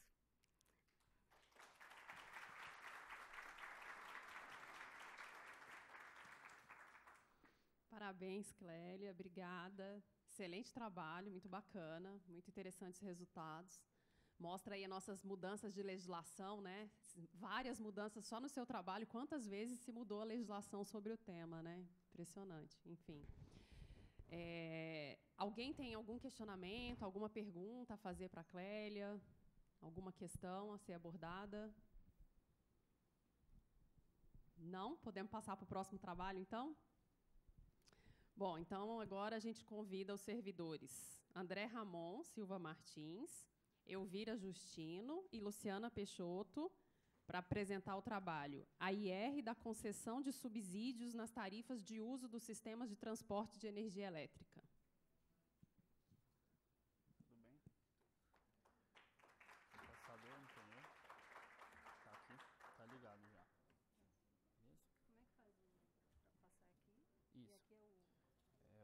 laser. Uhum. E aqui é o passador, para frente e para trás, tá? Só iniciar aqui. Né? Pode ficar à vontade. Passou. Você passou já? Tá. Não. Pode passar para trás. Isso. Aí. Beleza. Uhum. Não passei não. Tá. Oi, bom dia a todos. É, a, nosso trabalho foi uma análise de impacto regulatório. Deixa eu botar mais para cima, porque a Clélia é mais. Tá é, sobre a concessão de descontos para as fontes incentivadas nas tarifas de uso de sistemas de distribuição e transmissão de energia elétrica. A, apesar desse tema não ser um tema de é, ANEL, ela só tem a, a, incumbência de regulamentar o percentual desse desconto, que, que seria é, não inferior a 50%. Tá? Então, isso é uma política do governo, que é feita por meio de lei, mas a gente achou interessante fazer essa análise por conta do crescimento muito grande ao longo de, de, de todo esse tempo que ela foi, dessa política foi implementada e que faz com que é, não houve nenhuma análise é, por parte do governo que, que, a gente saiba, né, assim mais é, quantitativa desse desse resultado dessa política. Então, o crescimento vem crescendo, vem aumentando ao longo do tempo e não há, não houve nenhuma análise ainda. Então, a gente achou interessante fazer essa análise agora.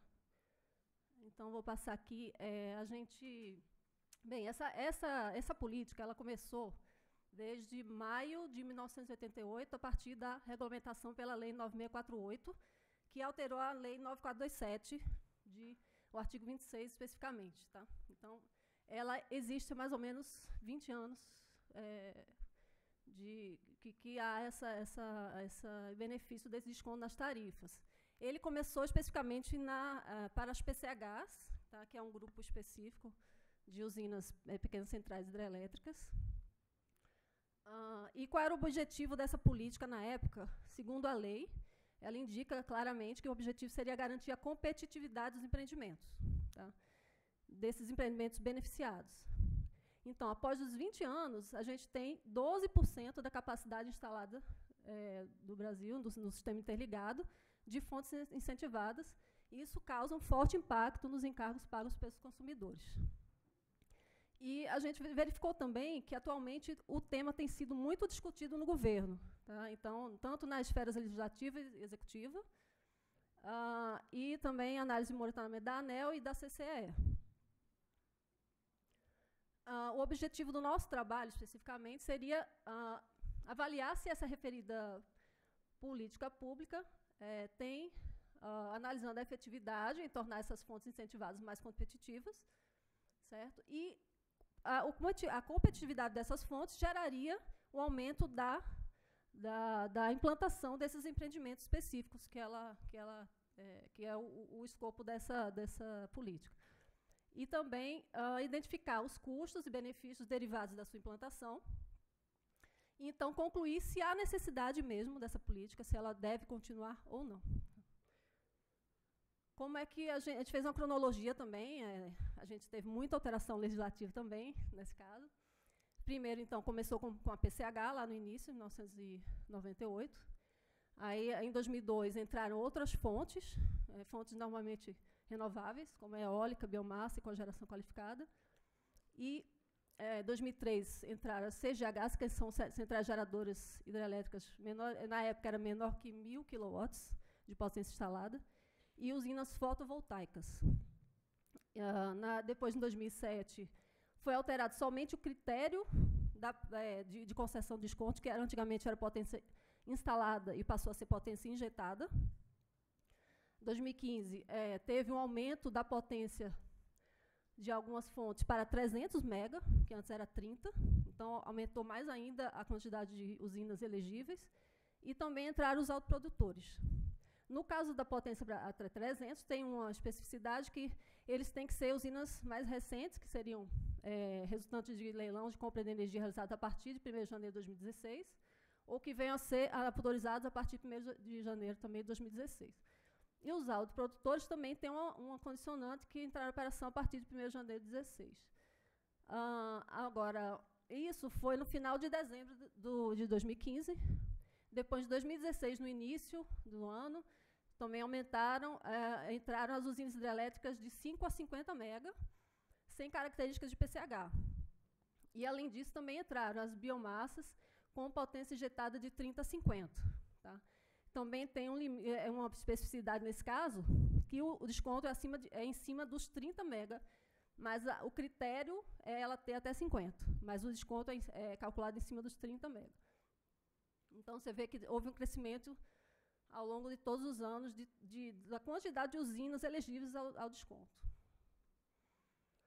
Uh, aqui a gente procurou colocar um fluxo uh, de como o dinheiro sai um, dos agentes que pagam por esse desconto, por esse subsídio, para os, os que recebem. Tá? Então, primeiramente, é quem é que paga? Os consumidores cativos e os livres ligados à distribuidora e os consumidores livres ligados às transmissoras. A, as, os consumidores ligados às distribuidoras, é, a conta, é, é, quer dizer, a, o valor é, é, calculado pela SGT aqui da ANEL dentro da, da tarifa, na parcela encargos da cota CDE. No caso das transmissoras, a tarifa ela é definida pela ANEL e é multiplicado pelo INS pelo mercado e é que o INS assim cobra da transmissora. Esse dinheiro todo ele vai para a CDE, como no caso também da Clélia, né, que é um fundo que é, congrega vários, vários subsídios. Tá?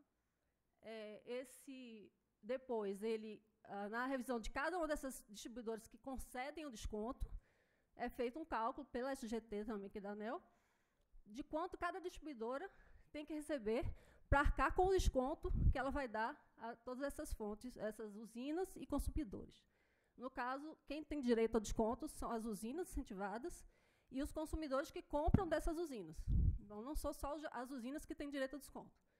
Tá? Então, esse desconto, então, o valor que, que a distribuidora recebe, ela é calculado pela ANEL a partir de um percentual que a CCE define, tá? É, na, na, fazendo uma conta matricial.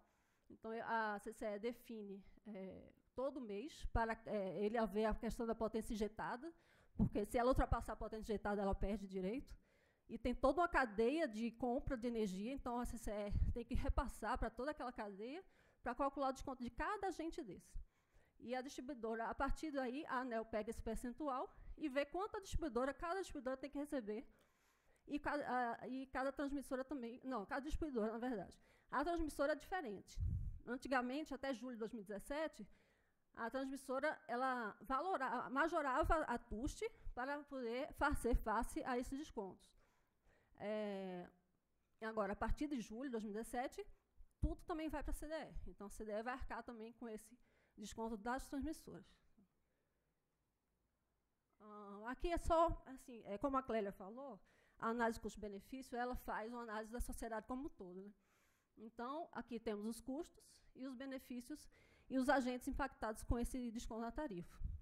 Bem, é, eu procurei identificar aqui os custos que são apenas um repasse entre quem paga e quem recebe, no caso, o pagamento dos consumidores cativos e dos consumidores livres, eles vão para subsidiar outros consumidores livres incentivados e outros geradores de autoprodutores incentivados, isso gera alguns benefícios, como, por exemplo, a diminuição do custo, porque normalmente esse consumidor livre é um consumidor grande, que tem indústria, um consumidor industrial, e também a economia dos custos de geração para esses geradores.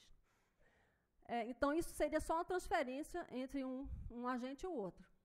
No caso, o governo ele tem um impacto porque ele, às vezes, como a Clélia falou, aporta recursos na, na CDE, e tem toda a questão da gestão do subsídio, que é um custo, por exemplo, da ANEL, da CCE, do governo. Então, é, tu, tu, todos esses agentes eles têm um custo de oportunidade, de estarem podendo fazer outras coisas a, a, é, do que fazer essa, essa, essa conta bem complexa que a gente faz. Tá? É, e tem também o gerador autoprodutor, que ele tem um impacto na diminuição da competitividade dele, porque ele é o convencional, então ele não tem direito ao desconto. Tá? Então, é, você pode notar que se não houver aumento da geração dessas fontes, aumento da competitividade que gera aumento da, da, dessa, da potência instalada dessas fontes, por exemplo, a melhoria da qualidade ambiental, que seria um benefício para a população mundial e Brasil, não, não, teria, é, não teríamos esses dois benefícios, esse benefício de qualidade ambiental. Tá? É, bem, a minha parte foi essa, agora vou passar para o André, que vai explicar melhor a metodologia que a gente usou no nosso trabalho.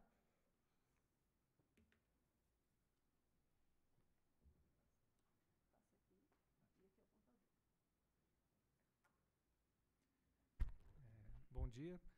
É, dando continuidade, então, a, como a Luciana colocou, o objetivo do trabalho eram basicamente os dois: analisar a efetividade da política até esse momento e analisar também a sua possibilidade de continuidade. Ou seja, seria uma avaliação ex post da efetividade da política e uma avaliação ex ante sobre a sua continuidade.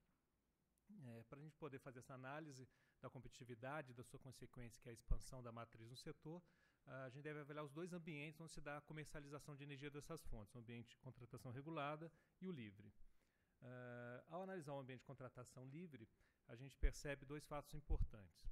O primeiro deles é que esse ambiente não é suficiente para garantir a expansão uh, do parque gerador, principalmente porque os prazos dos contratos são curtos e, com isso, as usinas, se comercializarem somente nesse ambiente, não têm condições de financiabilidade. Então, ela não é esse ambiente não é suficiente para garantir a expansão uh, do mercado. E essa, esse ambiente também tem uma outra dificuldade de análise, que é o fato de que, como são contratos livremente negociados, nós sabemos até a quantidade de energia, de alguma forma, que está sendo uh, negociada, mas a gente não sabe os preços que estão sendo tratados. Então, o que, que é comercializado nesse ambiente? Basicamente, é aquela parcela que não consegue ser comercializado, ou não é comercializado no ambiente regulado, e a energia que você consegue disponibilizar se a usina antecipar sua entrada em operação comercial de forma uh, anterior ao seu compromisso contratual. Então, dadas essas dificuldades e que a expansão se dá efetivamente por conta do ambiente de contratação regulada, a gente focou nesse outro ambiente uh, e onde a gente fez a análise sobre dois pontos de vista. Um é se a competitividade das usinas é influenciada pela concessão dos descontos é, e de que forma os resultados dos leilões teriam sido afetados se eu não tivesse esse benefício uh, para as fontes incentivadas. Os leilões analisados são os leilões de energia uh, nova, fontes alternativas e de reserva. Esses leilões, todos que foram realizados até o momento, foram específicos para as fontes PCH, eólica, biomassa solar, que são exatamente as fontes que são beneficiárias do subsídio. Então, não cabe nem eu falar de competitividade nesses leilões, porque esses leilões são específicos para essas fontes, com os benefícios são essas fontes que estariam sendo contratadas. Então, a análise que a gente vai fazer aqui, a metodologia, se foca ah, nos leilões a menos 3 a menos 5, aquele de 3 a 5 anos para entrada e operação das usinas. Aqui é um exemplo da aplicação de metodologia. Pegamos aqui uma uh, usina específica, a biomassa. Esses dados na parte superior aqui são o que a gente tem direto da CCE de resultado de cada leilão. Para cada usina que venceu cada leilão nos últimos quatro anos, a gente fez essa análise. Basicamente, a gente viu qual é o valor de tarifa de uso do sistema que ela deveria pagar, qual o desconto que ela teve, qual então seria a, a adicional que deveria ser incorporada no preço da usina se ela não tivesse o subsídio, quanto que isso custaria mais por ela por mês. E aqui é importante destacar que esse valor foi, foi calculado considerando a potência instalada total do empreendimento, ou seja, se toda a potência estivesse direcionada para o mercado regulado, ou seja, sem nenhum impacto no mercado livre. Calculamos então o custo adicional na energia ofertada, e aqui também um outro aspecto importante que todo esse custo adicional está sendo alocado no mercado regulado. Ou seja, se a gente, é, na análise, mostrar que, mesmo com todo esse custo alocado totalmente no mercado regulado, essas usinas continuam é, competitivas, ela não vai ter nenhuma alteração no mercado, no ambiente livre, nas suas condições de contratação no ambiente livre, e, e ela não necessitaria, então, desse benefício no mercado regulado. Bom, aí eu chego aqui no preço final uh, dessa fonte. Basicamente, a gente fez isso para todas as usinas que, que venceram todos os últimos leilões. Uh, aqui é só para mostrar que você tem uma nesses leilões que foram analisados, você tinha competição dessas fontes hidrelétricas, eólica, solar, com carvão e gás natural, ou seja, havia uma competição entre as fontes. E o resultado que a gente obteve para cada leilão está exemplificado nesse caso aqui, que é o 22º leilão de energia nova, um leilão a menos 3. Uh, ah, eu tenho aqui as fontes, hidrelétrica, aqui são, é o preço com o desconto, e aqui é o preço que ela ficaria sem o desconto. Essa barra aqui é o preço teto da, da fonte. Eu tenho aqui o preço da eólica com desconto e sem desconto, e o preço aqui da biomassa com desconto e sem desconto, e aqui o preço da usina gás natural que venceu esse leilão também. Uh, você vê que você tem preços testes diferenciados por, por usina e produtos diferentes também. As usinas hidrelétricas não competem com as usinas uh, eólica, biomassa e gás natural, porque são produtos diferentes, é produto por quantidade, e mesmo entre os produtos por quantidade, por disponibilidade, você vê que nesse caso específico a eólica não competiu com biomassa e gás natural, porque eram produtos diferentes. A gente vê que há uma variação aqui, obviamente um aumento do, do preço que teria que ter sido comercializado essas energias no leilão, se ela, não tivesse subsídio, mas em muitos casos eles estão abaixo do preço teto da fonte. É, cabe destacar também que esse preço teto aqui é, é calculado considerando que não haveria o benefício num cenário onde é, esse benefício fosse retirado, seja, você calcula o preço teto com o benefício, sem o benefício, esse preço teto teria que ser aumentado e, obviamente, também o preço teto do leilão como um todo, que é o preço teto da fonte mais cara. Bom, o que, que a gente verificou disso aí? É, que o carvão não é ainda competitivo com relação a essas fontes, a eólica é a fonte mais competitiva de todas, é, e com relação às usinas de gás natural, eles não competem com as hidrelétricas, nos leilões onde houve vencedor tanto de eólica e gás natural eram produtos diferentes, ou seja, elas não competiram entre si, e o gás natural teria o potencial para deslocar apenas algumas usinas a biomassa, talvez, nessa análise que a gente fez. Disso a gente conclui o seguinte, que é, mesmo se eu não alterasse o preço de referência da fonte e do leilão, 23% da energia comercializada pelas fontes incentivadas continuaria sendo comercializada, se eu ajustasse o preço de referência, mas sem o, o preço teto do leilão, 88% da energia comercializada também é, teria se mantido. E se eu ajustar o preço teto do leilão como um todo, praticamente toda a energia comercializada pelas fontes incentivadas também teria sido comercializada nesse cenário sem o subsídio. É, o que nos leva a concluir que essa política não está influenciando na competitividade dessas fontes. Mesmo sem essa política, essas fontes seriam competitivas da mesma forma. Isso aí vai influenciar na, na nossa análise ex ante, que a Elvira vai apresentar agora.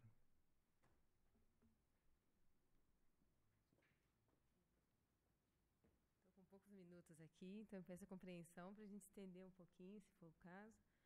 É, a, ao longo do estudo, a gente mapeou as, as alternativas de, de futuro para a política. Então, a alternativa 1 um seria manter a política como está. A alternativa 2 ela se desdobraria em duas e até em mais, a depender da combinação de é, opções, mas seria ou a retirada de alguma fonte, ou de mais de uma, ou a alteração do, do percentual de desconto é, por fonte. E a alternativa 3, que seria a retirada total dos subsídios com a extinção da política. A partir dos resultados. Hum, falhou isso aqui. Despreze o xizinho. A partir dos resultados que o André acabou de apresentar, a gente concluiu que a política, ela, em si, ela não promoveu a competitividade é, de forma significativa a competitividade das fontes acima do que se esperava. Quer dizer, não foram é, implantadas mais usinas do que se não tivesse subsídio.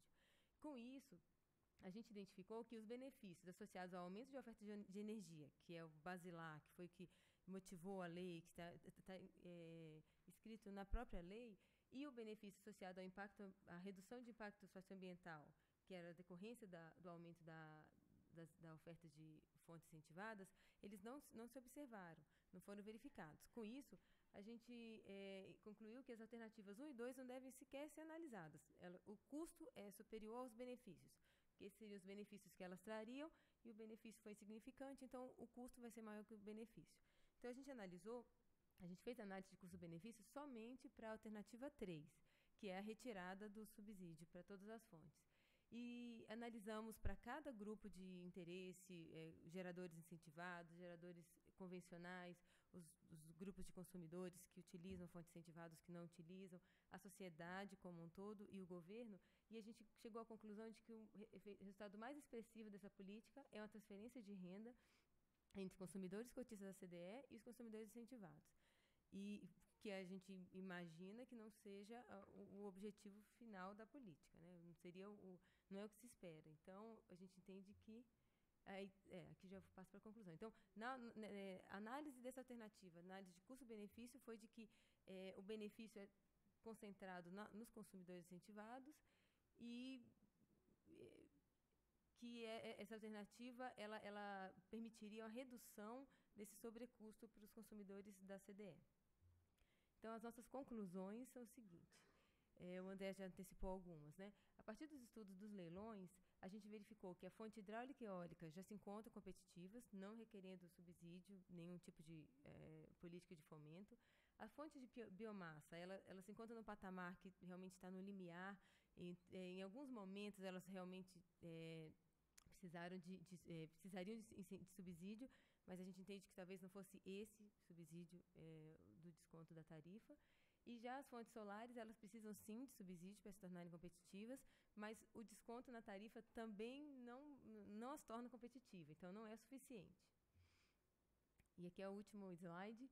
Então, apesar de algumas fontes de geração ainda demandarem ações de fomento, é, essa concessão do, sub, do subsídio ela, ela, não seria mais adequada. Por quê? Porque ela, ela consiste no subsídio cruzado e com isso que distorce os sinais de preço de energia e, e não seria é, certamente o mais adequado para ser utilizado. A gente identificou uma possibilidade é, de política de incentivo é, à realização de leilões por fonte, como já é feito também pelo governo, né?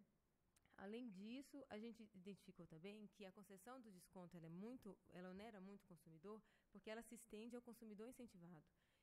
Com isso é, estimula a migração dos consumidores do ACR é, para o ACL e, e, e, essa conta do, do consumidor, é, o subsídio para o consumidor incentivado, ele representa é, é, três vezes o, o, custo que é do, do subsídio para o gerador. Então, caso fosse retirado pelo menos é, essa extensão do, do, desconto, talvez a conta já, já fosse é, aliviada, mas aí seria uma nova análise de custo-benefício, uma nova análise de impacto regulatório. E é isso.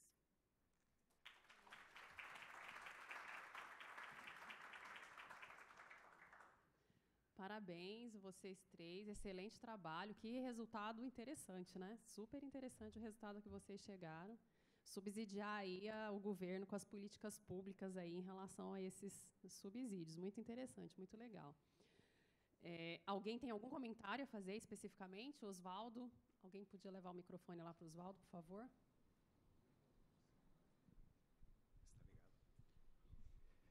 É, mais do que uma pergunta, um comentário.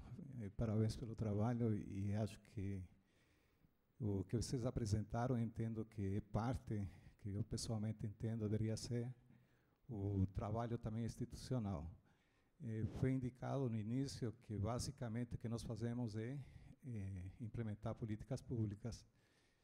E o que está mostrando aqui é a importância, então, de o seguimento que tem que ser feito a qualquer tipo de regulação, para verificar nesse momento que efetivamente eh, não há mais necessidade, então que teria que ser corrigido. Agora, o que fica para mim é qual é o espaço que uma agência reguladora tem, entendo que deveria ter bastante espaço, para sugerir, propor e mostrar que, como parte de uma política pública, o que está sendo feito não necessariamente seria o mais adequado para a sociedade. É, tem muitas definições, muitas leis que chegam e que necessariamente a ANEL tem que implementar a regulamentação para leis que não necessariamente, talvez, eh, passaram por esse procedimento da avaliação. Então, eh, como parte do estudo que está sendo feito na normatização, eu entendo que deveria ter um espaço para que as agências reguladoras também, previamente, talvez verifiquem as propostas de leis públicas que são feitas. Caso contrário, eh, as agências vão ficar somente a reboque de definições feitas por, pelo governo no momento, eh, que acha eh, que teria que incentivar, muitas vezes, simplesmente por critérios que não necessariamente seriam os mais adequados.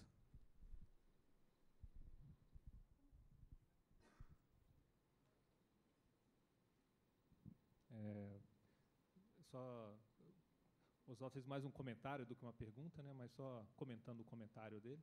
Ah, é, o que você colocou é relevante, não sei se talvez a, a agência reguladora é, ter que se manifestar sobre a questão das políticas, mas talvez essa prática que a gente está tendo de análise de impacto regulatório seja estendido também para esse processo mais amplo, legislativo, ou na elaboração de decretos, no, por meio de avaliação de políticas públicas, terem que ser analisadas discutidas com a sociedade antes de sua implementação, e parece que isso é uma discussão que está em curso dentro do, dentro do país aqui também.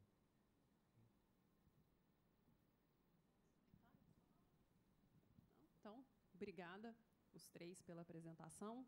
Parabéns, excelente trabalho que foi feito. Bom, agora a gente convida então os servidores Humberto Augusto Viana, Benedito Cruz Gomes e Exilvan Cardoso dos Santos para apresentação do trabalho Leilão de Transmissão de Energia Elétrica, RAP, Receita Anual Permitida e Tempo de Concessão.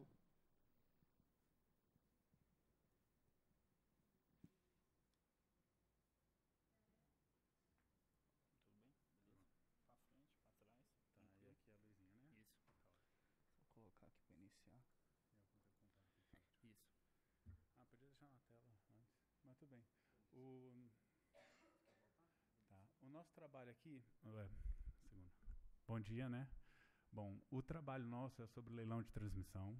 É uma análise a respeito da remuneração, a RAP do leilão e o período de concessão, com o objetivo de tentar verificar alguma forma de, usando apenas essas duas, esses, esses dois, essas duas variáveis, conseguir uma otimização no leilão e uma, uma modicidade tarifária. A, a prestação de serviço público de transmissão ela é de competência da União, que delega essa prestação às concessionárias de transmissão. O, o parágrafo 3 do artigo 4 da Lei 9074 diz que as concessões de transmissão e distribuição de energia elétrica contratadas a partir desta lei terão prazo necessário à amortização dos investimentos limitado a 30 anos, contado da data de assinatura imprescindível do contrato, podendo ser prorrogado no máximo por igual período, a critério do poder concedente nas condições estabelecidas no contrato. Né? Vamos lá. Então, como é que ele funciona? O leilão, ANEL é, o poder concedente define o lote e a ANEL, pela ANEL, ele faz, realiza o leilão, estabelecendo a partir do, do investimento para aquele lote uma receita teto. E ganha a concessionária que ofertar prestar esse serviço por 30 anos pela menor RAP, menor receita. Dessa forma, o período de construção não tem remuneração nenhuma a, a concessionária começa a receber receita a partir da entrada em operação das instalações e essa receita é vigente até o final da concessão, sendo, portanto, um período até inferior a 30 anos. Você perde esse período de construção. O saldo devedor ele começa a ser abatido a partir da, do início do, dos pagamentos das receitas, a partir da entrada em operação comercial até o fim da concessão. O interessante do leilão de transmissão é que ele não depende de mercado ele é pela disponibilidade. A instalação está disponível, você recebe receita. Deixou de estar disponível, você para, independente de estar tendo uso ou não naquele momento. A composição das receitas ela é tributos, OIM, e a maioria relacionada à amortização e aos juros. Né? Opa, o que, que eu fiz aqui? Como é que volta? Alguém sabe? Ah, no mouse? Licença. Ah, Como é que é? Eu apertei o ESC aqui, eu acho. Você quer voltar para o é, seu? eu quero voltar para a apresentação. Perfeito. Como é que fez? F5. F5? Perfeito. Vamos lá pular. Desculpa aí, gente. Então, os leilões hoje, eles seguem um perfil de amortização price, de forma que as prestações são todas constantes. Ou seja, a mesma receita que ele vai receber no primeiro ano é a mesma receita que ele vai receber no final, relacionada àquele lote inicial. Se não tiver nenhuma autorização de alguma melhoria algum reforço relacionado a, esse, a essas instalações. Ixi, está muito ruim a fórmula, mas ok. O que, que, é, o que, que são essas equações aqui? A gente verificou que a RAP, então, seria como se fosse o preço da disponibilização por um ano das instalações de transmissão. Ela aqui não está dando para ler, está tá péssimo, mas ela é o custo pela prestação de serviço, por disponibilizar, dividido pelo tempo que essa instalação está disponível. Para o consumidor, para os usuários, ou seja, o preço de demanda, seria como se fosse, ao final da concessão, somatório de todas as RAPs pagas dividido pelo período que essa concessão ficou disponível, que essas instalações ficaram disponíveis para os usuários. E para a concessionária de transmissão, seria o investimento, o preço da oferta é o investimento, mais os custos de OIM, operação e manutenção, dividido pelo período que a concessão ficou disponível também. Então, de acordo com as regras de economia, o ponto ótimo é quando o preço da oferta é igual ao preço da demanda. Assim, a gente fez uma análise a respeito do período de amortização e do período de depreciação das instalações. Eles são distintos. A amortização é o período necessário para você pagar o investimento feito. E depreciação é o período que a instalação tem de vida útil. O ponto ótimo, de acordo com o nosso entendimento, foi que o período de amortização igual ao período de depreciação faz com que você garanta um menor preço. Você está mexendo, aqui não dá para ver, mas você está mexendo na, não somente na variável de custo, mas também na variável de período. A variável, o leilão como é feito hoje, ele garante que essa variável de custo seja a menor possível. Se você conseguir aumentar essa variável de baixo, você consegue diminuir o preço.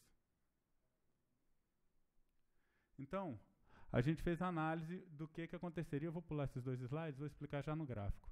O que aconteceria? O, o eficiente é quando o período de amortização é igual ao período de depreciação. Aí você teria o preço de oferta igual ao preço de demanda. Quando o período de amortização é maior que o período de depreciação, você vai pagar mais rápido pelo uso das instalações do que elas realmente estão perdendo preço de forma que você faz com que você tenha essa área aqui ó, de perda de eficiência. E no caso contrário, se você colocar que o, que o período de amortização é maior que o período de depreciação, você não vai conseguir oferta no leilão. De forma que você vai ter que o, o, você vai ter que considerar até você vai ter que considerar um, re, um reinvestimento nas instalações até cobrir o período de amortização, até o período de depreciação ser maior ou igual ao período de amortização de forma que você vai fazer com que o preço também fique mais alto do que o preço de equilíbrio, o preço ótimo. Esse é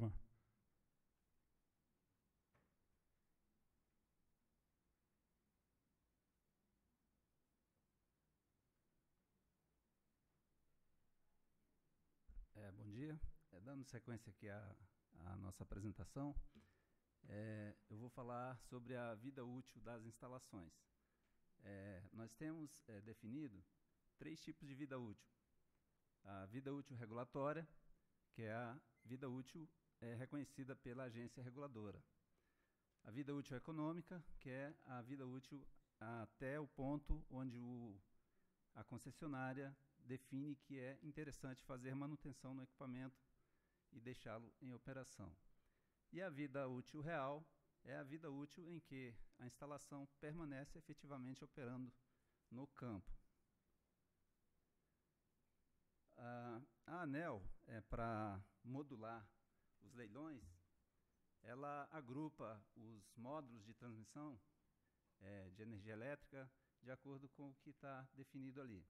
É, módulos de linha de transmissão, módulos gerais, módulos de manobra e módulos de equipamentos dessa forma são agrupados para é, serem levados aos leilões. É, a ANEL também define a vida útil regulatória dos equipamentos de transmissão. É, ali a gente é, tirou da resolução homologatória da ANEL é, alguns é, equipamentos de transmissão que têm a sua vida útil regulatória definida. Por exemplo, é, banco de capacitores e banco de filtro, tem vida útil regulatória de 20 anos, é, compensador estático e compensador rotativo com vida útil regulatória de 30 anos, definida pela agência, é, reatores de barra, de neutro, série e de linha, com 36 anos de vida útil, é, linhas de transmissão no que diz respeito à torre, e condutores e cadeia de isoladores, 37 anos, transformador de aterramento 30 anos e transformador de força e conversores em 35 anos. É, no nosso trabalho, nós fizemos o cálculo da vida útil é, ponderada de um módulo de entrada de linha de transmissão de 345 kV, considerando a vida útil de cada um dos itens que compõem esse módulo, por exemplo, chave seccionadora, é, para-raios, TPs, TCs, é, ponderado com o investimento necessário para a substituição de cada um desses equipamentos. E chegamos a uma vida útil média é, de, de 27,68 anos. As concessionárias de transmissão, elas estimam a vida útil de seus equipamentos de transmissão. Por exemplo, a CETEP, que é a Companhia de Transmissão de Energia Elétrica do Estado de São Paulo, ela estima que os seus equipamentos eles têm vida útil entre 25 anos para disjuntores até 100 anos para torres de linha de transmissão.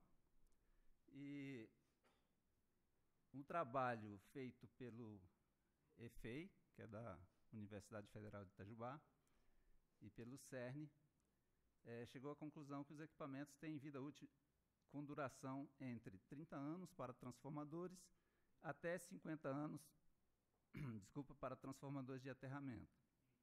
Então vejamos aí que é, tem é, vidas úteis bastante é, variadas, dependendo do ponto de vista da análise o cálculo da vida útil real dos equipamentos de transmissão instalados no Brasil, é, com base nas informações que constam no CIGET da ANEL, Sistema de Gestão da Transmissão, é, levando em conta a vida útil de cada equipamento e o investimento, ponderando pelo investimento necessário para a substituição daquele equipamento, nós chegamos a uma vida útil é, média de 34,9 anos para os equipamentos instalados no Brasil, aproximadamente aí 35 anos. E, por outro lado, visitando esse mesmo banco de dados da ANEL, nós fizemos ali a distribuição dos equipamentos com tempo de operação de 5 em 5 anos. É, e chegamos à conclusão que nós temos instalados hoje no Brasil equipamentos com vida útil acima da vida útil regulatória definida pela agência. Por exemplo, ali para linhas de transmissão, nós temos, é, a partir de 40 anos, uma série de linhas de transmissão que estão em operação.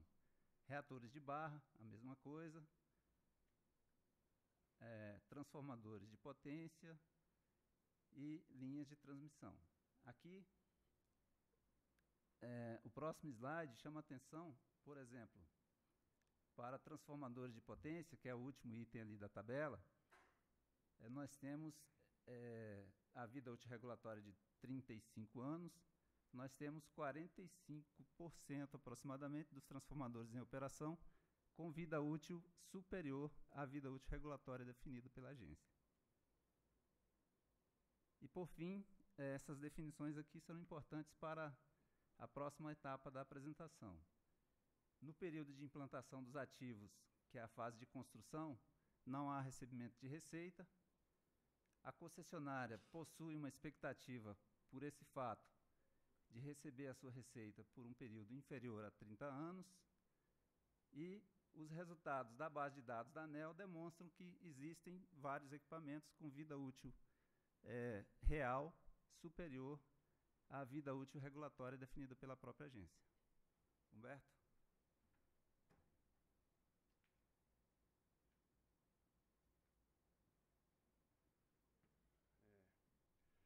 Bom dia.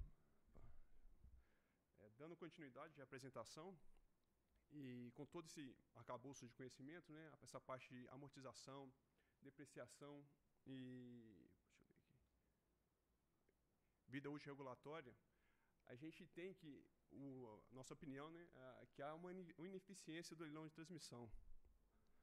É, a rápida dos leilões de transmissão não é função direta da vida dos equipamentos, esse é um dos itens. O período de amortização varia de 26 a 28 anos de receita. Igual o Benedito já explicou, é, o contrato de concessão tem 30 anos, mas a amortização é inferior a esse prazo. A gente tem entre 27 e 28 anos de amortização. O resto do período é o período de tempo de obra para ser instalada a concessão. Nossa, já, já tem cinco minutos. Tá. Aí o, período de concessão, já, como já foi falado, é inferior à vida útil regulatória dos ativos de transmissão, é, é inferior também à vida útil desses ativos, e a ineficiência dos leilões seria diminuída caso o transmissor pudesse ofertar a RAP por um período maior de concessão. E aí gente, nós apresentamos algumas propostas para diminuir esse, esse, esse, descasamento entre amortização e depreciação.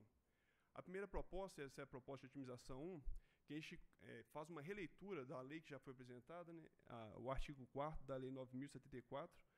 A gente faz uma releitura desse artigo. Qual é o entendimento? Né? A gente considera a amortização de 30 anos mais o prazo de construção, de, construção da obra. Por exemplo, uma, uma obra que tem três anos para ser construída, mais os 30 anos de amortização, daria o contrato de construção de 33 anos. Essa é a primeira é, proposta.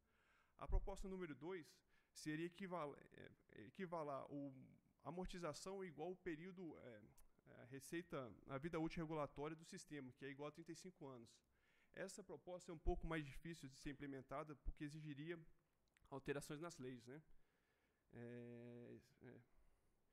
E a terceira proposta de otimização é essa proposta até mais polêmica, porque a ideia é colocar o contrato de concessão, né, o, dar oportunidade para o agente, né, que igual hoje é feito, ele dá a RAP, né, vence o agente que der menor RAP, mas o agente vencedor ele vai também estabelecer o período de concessão. Ele que vai, da, vai datar esse período de concessão, 30, 50, 60 anos. Aí, no nosso caso, nossa proposta, a gente sugeriu 30 mais 30, né, 30 anos de concessão, mais 30 anos de renovação, 60 anos, mas esse valor poderia ser até alterado. É, por que, que a gente fez isso? Né? A RAPTE dos leilões de transmissão considerando, só consideram a vida útil regulatória das instalações. Os participantes do leilão, do leilão teriam liberdade né, para estabelecer a RAP, limitada a RAP teto. Aí é esse período que eu tinha falado, 60 anos. E essa condição reduz duas simetrias de informação importantes. É, diminuiria o custo para implementar, administrar, operar e manter o serviço de transmissão e o tempo de vida útil dos ativos de transmissão. A ideia, a ideia básica é o seguinte, é, como o agente ele é o maior conhecedor dos ativos de transmissão, ele, para fazer esse casamento, achar aquele ponto ótimo, igual foi mostrado na apresentação, entre amortização e depreciação, o agente seria é, influenciado a achar esse ponto ótimo. Assim, a primeira ideia que vem à cabeça é isso não é bom porque, é, por exemplo, você tem o agente sempre ia querer o prazo máximo, por exemplo, ia sempre na, né, ao vencer a, o edital, né, vencer o leilão, ele queria sempre colocar um prazo máximo, como, por exemplo, 60 anos. Mas não é bem verdade. Porque, por exemplo, se você tem a vida útil regulatória média, ou vida útil real dos ativos, por exemplo, por volta de 50 anos, se ele colocar 60 anos para toda, né, para toda concessão, ao chegar ao 50 ano, ele vai ter que fazer todo esse reinvestimento. Então não seria o ponto ótimo. O ponto ótimo seria no momento da na vida útil real dos equipamentos. Tá, aí nós fizemos simulações partindo desses três cenários. Né? Aqui é só explicando as simulações, vou pular esse. Está acabando o tempo. E aqui a otimização 1, nós pegamos 29, 29 contratos entre 2014 e 2016, todos, né? Entre 2014 e 2016. A gente colocou só alguns aqui, só a título de exemplo. Ali na segunda coluna, a gente tem a RAP do contrato da concessão, no último reajuste. A gente pega essa RAP e calcula, a gente calculou o investimento necessário do, do agente. Né? Toda aquela tabela que o, que o Benedito já mostrou, a OIM, é, amortização, juros. E a gente, a partir desse investimento, a gente achou a RAP simulada, que é a coluna 3. E a gente pode ver nessa simula nesse caso, né, de otimização 1, que é aquele caso da amortização em 30 anos, né, desconsiderando o, o tempo de obra, que deu uma economia de 45 milhões, né, que é agora que é a parte do análise de impacto regulatório. 45 milhões por ano, só para esses três anos analisados. O mesmo raciocínio para a otimização 2, né, amortização em 35 anos, que é a vida útil regulatória, que a gente viu também que a vida útil regulatória é bem inferior à vida útil real dos equipamentos. E aqui, para esse caso, é, deu uma economia de 83 milhões por ano.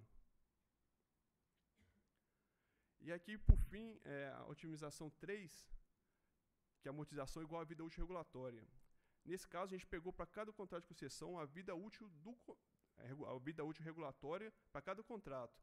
A gente não tem como pegar a vida útil real, porque a agência a gente não tem esse conhecimento. A gente pegou as informações existentes no CIGET e nas resoluções. Né? Então, nesse caso, da otimização 3, deu 75 milhões de, a menos né, de RAP por ano.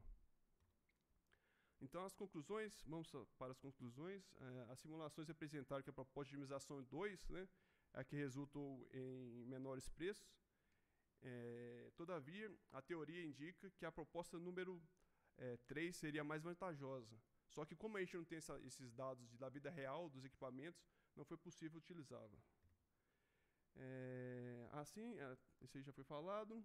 E a proposta é, de otimização 1 é a mais simples de ser implementada, porque só precisa de uma releitura da lei. Era isso que a gente tinha para apresentar. Obrigado.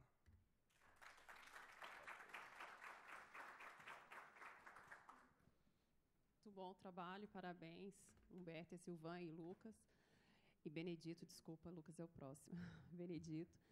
É, alguém tem algum comentário, alguma questão a fazer? Ricardo?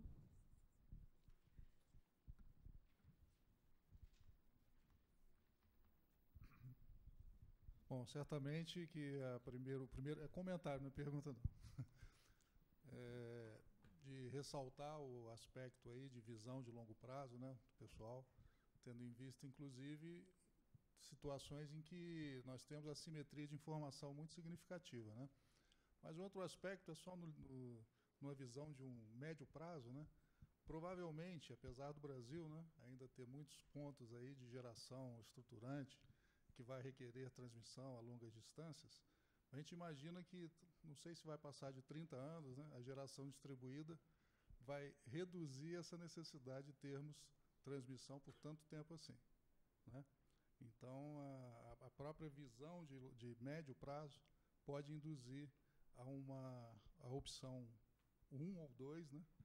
apesar de vocês terem demonstrado aí, muito bem demonstrado, que a vida útil seria um ponto fundamental a tratar. A minha expectativa é que daqui a 20 anos, não sei se vou estar até lá, mas enfim, que a gente tenha né, no, nos ambientes aí de, de, que a gente passa, apesar das linhas de transmissão ter a sua beleza técnica, né, ela, de certa forma, é um empecilho à beleza né, do ambiente.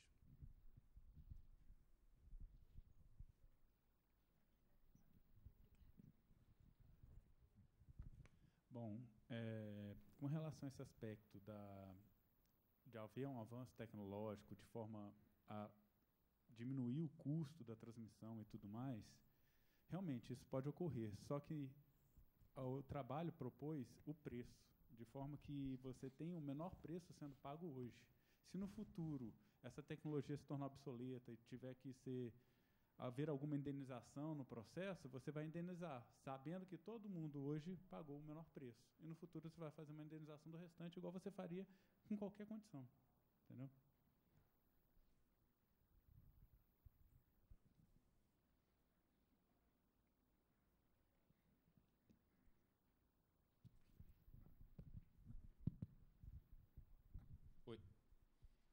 problemas tecnológicos.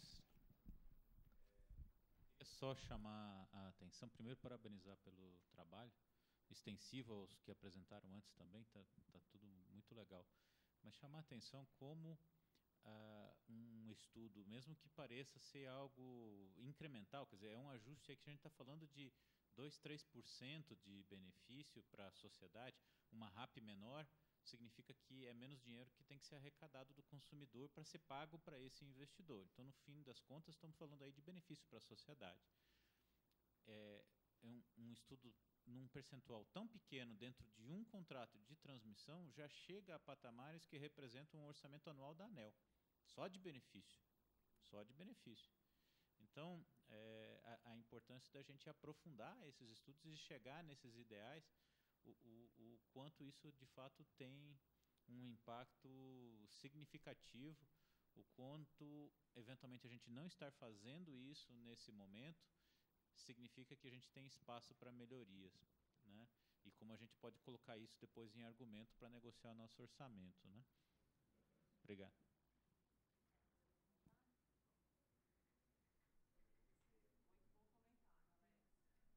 Interessantíssimo mesmo.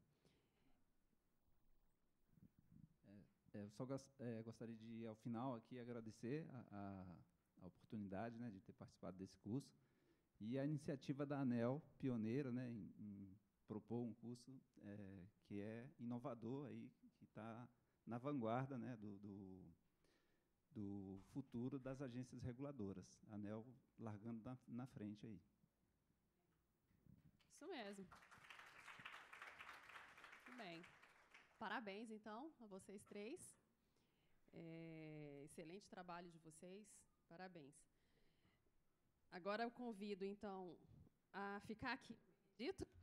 Benedito Cruz Gomes, que participou de dois trabalhos. Ele gostou tanto, tanto, tanto do curso que ele resolveu fazer dois trabalhos. E o Lucas eu não estou vendo, acho que você vai apresentar por ele. Ah, pronto. Então, os servidores que é, é, participaram desse trabalho foi o Lucas Elias Gomes, que está de férias, e o próprio Benedito, que vai apresentar, então, proposta de incentivo econômico para a extensão de ativos sobre responsabilidade de concessionárias do Serviço Público de Transmissão de Energia Elétrica.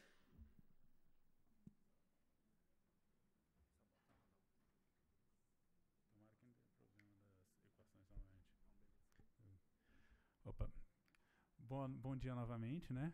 É, a proposta desse trabalho é fazer um, foi fazer um estudo de forma a estimular os, os concessionários a maximizarem a vida útil dos seus ativos.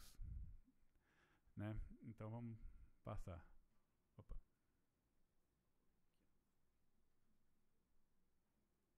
Agora vai. Tá ótimo. Pular aqui. Aqui é o mesmo slide que foi falado na apresentação anterior, como é que funciona o leilão, eu não vou me alongar nele. E aqui é um slide explicando como é que funciona quando você tem uma autorização de um novo, uma, uma nova instalação. Você tem a RAP inicial, ela vai sendo depreciada no, no decorrer do, é, vai sendo amortizada no decorrer do processo, e quando você tem um reinvestimento, você autoriza uma nova receita que entra nesse momento aqui, aumentando a receita da concessionária. Essa receita, quando acaba a concessão, esse ativo não está 100% depreciado, não está 100% depreciado e nem a receita está 100% amortizada, de forma que tem um saldo devedor aqui também. Ok? A composição da RAP é o mesmo slide do anterior, o que interessante que mostra aqui ó, é se você retirar a parte de tributos e encargos, você tem que 21% da receita líquida que a empresa recebe é de OIM, 34% é amortização e 45% é juros. Isso é um dado interessante que você percebe que a receita líquida da concessionária é praticamente amortização e juros. É a receita relacionada ao investimento que ela fez.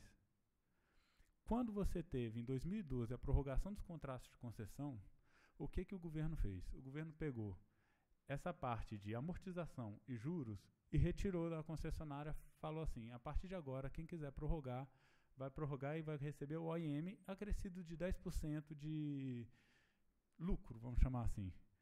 E, retirou 79% da receita das, das concessionárias. De forma que as concessionárias prorrogadas por essa medida, que foram nove das principais concessionárias do país, começaram, passaram a partir da prorrogação a receber somente o OIM. Uma receita constante.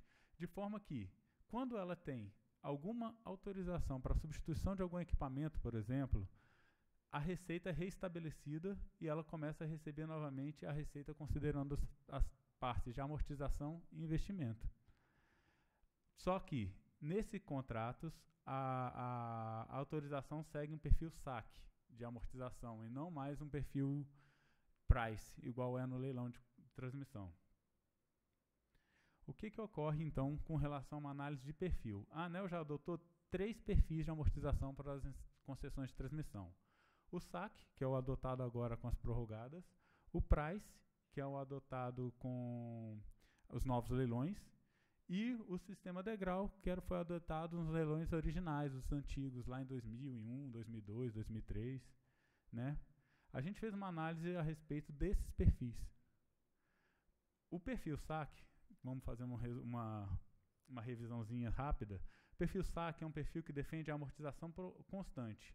O investimento é amortizado em parcelas constantes, de forma que no começo você paga uma prestação maior e no final você paga uma prestação menor, tendo em vista que os juros vai diminuindo conforme diminui o saldo devedor. O perfil Price, ele segue a, a proposta de parcelas de prestações constantes, de forma que no começo você tem uma taxa de juros maior e uma amortização menor. E no final você tem uma amortização maior e uma depreciação menor, e, no, e você também zera da mesma forma o saldo devedor. E o perfil degrau é como se fosse dois perfis price escalonados. O começo mais alto e o, e o no segundo período menor. No caso da ANEL, ela estabelecia que os 15 primeiros anos de concessão, a empresa receberia uma RAP e nos outros, no restante, ela receberia metade dessa RAP. Novamente, temos, temos, tem um problema aqui com a equação, não sei o que, que aconteceu, mas é, a resolução 589 de 2013, ela estabelece como é que você calcula o valor da indenização das instalações de transmissão é uma é uma é aquela fórmula simples. Você pega o valor novo de reposição do, do, da instalação, pega o tempo de uso dela e divide o tempo restante pelo valor da vida útil total da instalação. Assim você calcula o valor da indenização da instalação. A gente comparou esse valor da indenização com cada um dos perfis de amortização. No perfil SAC, o que, que acontece? Você pega e percebe que o saldo devedor e a, a valor da indenização caminham sobre a mesma curva, de forma que a qualquer momento, para o concessionário, ele, se ele devolver a concessão, ele vai receber como indenização o mesmo saldo devedor que ele receberia se ele continuasse até o final. No perfil Price, isso é interessante, não ocorre isso o saldo devedor ele caminha por cima da curva da indenização. De forma que, se ele desistir no meio da concessão, o saldo devedor dele é inferior ao valor da indenização, é maior do que o valor da indenização dele. Já é um estímulo natural para ele querer continuar na concessão o máximo de tempo possível, até terminá-la. Né? E no perfil degrau, a gente chega numa situação bastante peculiar. O que, que ocorre? Conforme o tamanho do degrau, você pode ter uma situação em que o saldo devedor segue mais ou menos um perfil price, ou você pode ter uma situação em que, nos 15 anos, no período do degrau, é vantajoso ele entregar a concessão que ele vai receber uma indenização maior do que o saldo devedor dele. Né? Aí aqui o ponto de neutralidade, para um caso de uma taxa de juros nominal de 6,24%, foi que o valor do degrau seria que a RAP inicial seria 1,62 da RAP final. Considerando pelo período de metade da degrau correndo na metade da concessão, 15 anos. Aqui a gente também fez uma análise da vida útil das instalações. Observamos que a vida útil regulatória é estabelecida pela ANEL, no caso do transformador, por exemplo, seria de 35 anos. A vida útil econômica, a gente pegou nos estudos da EFEI e do CERN, que um transformador teria 30 anos e na vida útil técnica, lá, lá no estudo da CETEP, a gente pegou que um transformador tem vida útil de mais de 40 anos. Né? Quando a gente fez uma análise da, do banco de dados da ANEL, aqui no caso a gente usou a base de dados do CIGET, a gente obteve que vários equipamentos estão com a vida útil, estão operando com vida útil é, em tempo superior à vida útil regulatória deles é um resultado equivalente ao resultado do trabalho anterior, né? É o mesmo, exatamente o mesmo resultado. E aí, o que, que a gente pensou? Bom, com as, com as concessões prorrogadas, elas não têm mais o estímulo de manter o equipamento em operação comercial da mesma forma que ele tinha antes da prorrogação, que ele não alteraria a receita dele. Ele vai ter, pelo contrário, um estímulo para ele substituir o equipamento o mais rápido possível para restabelecer a receita dele. Então, a gente pensou em duas alternativas de como resolver esse, essa questão. Uma, o controle do Estado. A concessionária, para substituir o equipamento, precisaria antes falar: eu quero substituir esse equipamento. Aí o Estado vai lá, faz uma, uma aferição, fala: realmente esse equipamento precisa ser substituído, pode substituir. O risco dessa medida, primeiro, é o próprio custo. Tem um custo de pessoa, é, um custo operativo muito grande, e ele também tem um, um, o risco de você falar para um, um concessionário que pode substituir uma instalação que não precisaria ser substituída, ou o contrário, você não deixar ele substituir uma, instalação que precisa ser substituída. Então a gente pensou numa alternativa econômica, de acrescentar um estímulo econômico que, quando, quando a instalação chegou no final da vida útil regulatória, ou da concessão, né, ele receberia uma receitazinha a mais. De forma que essa receita seria exatamente o estímulo para ele maximizar a vida útil da, da instalação. A, a, a, obtenção dessa receita foi feita a partir do custo da estrutura de capital. A gente fez uma análise da estrutura de capital da, adotada, considerada pela ANEL para estabelecer os leilões e tudo mais, e pegamos o prêmio de risco do negócio. A partir dele, verificamos qual é o percentual de participação do concessionário e obtivemos que o prêmio de risco do serviço de transmissão para o concessionário é de 1,02%. Esse valor representa exatamente a expectativa que o concessionário tem ao entrar no negócio de receber além da taxa livre de risco. É exatamente o prêmio total dele por ele estar no negócio. Com esse valor, a gente pensou, pô, ok, agora a gente aplica esse percentual prêmio em cima de qual saldo devedor? Se eu pegar o saldo inicial, eu vou dar vou estar aplicando em cima de um valor maximizado, muito grande. Se eu pegar o final, é zero. A gente falou, não, vamos pegar o saldo devedor médio. E para cada curva, o saldo devedor médio varia. Aqui a equação está muito ruim, não dá para ler, mas essa aqui é uma fórmula de cálculo geral. A partir da, da que você, a partir das prestações, você calcula qual é o saldo devedor médio. Com essa equação, a gente obteve que o, a parcela adicional de incentivo, a PAI, ótima, seria Tá, tá ruim, mas, por exemplo, para o saque, seria metade do valor do TVNR multiplicado pelo prêmio de risco de 1,02. Esse seria o valor da parcela de incentivo máximo ao concessionário. O, o, o que, que ocorre? Esse é o prêmio máximo que o concessionário ganha livre de risco. Se ele pegar, então, o dinheiro do investimento e aplicar no mercado financeiro, num, num, num, numa aplicação livre de risco, ele ganha aquele prêmio livre de risco, mais, e esse tanto aqui ele já estaria ganhando na concessão dele mesmo sem prorrogar. Dessa forma, você tem aqui o contrário, você pode ter um incentivo para o cara maximizar, querer maximizar tanto a vida útil, postergar tanto a, a, a, substituição dos equipamentos, que você poderia ter o sucateamento do serviço. Assim, a gente vincula que esse valor do, do PAI ele tem que estar associado à qualidade do serviço prestado por essa instalação. Dessa forma, a gente olha os quatro anos anteriores e faz, a partir de uma equação o cálculo de qual que seria o valor do, do, do incentivo para o próximo ano. Esse valor é calculado com quatro dos quatro anos anteriores menos um fator de comprometimento que ele tem que ser maior ou igual a 1, multiplicado por uma por uma parcela aqui que a gente chama aqui de um indicador de qualidade. Esse indicador de qualidade ele é 0,1. A gente verifica para cada ano, cada ciclo, qual que foi o atendimento da concessionária, daquela instalação aos critérios de qualidade. Se ele foi ótimo, zero. Se ele foi ruim, ele vale 1. Um. Esses critérios de qualidade foram obtidos da resolução 729, o anexo dela tem. Por exemplo, se uma instalação, uma linha de transmissão com 5 quilômetros ficar e tiver mais de um desligamento, o indicador já indicaria como 1.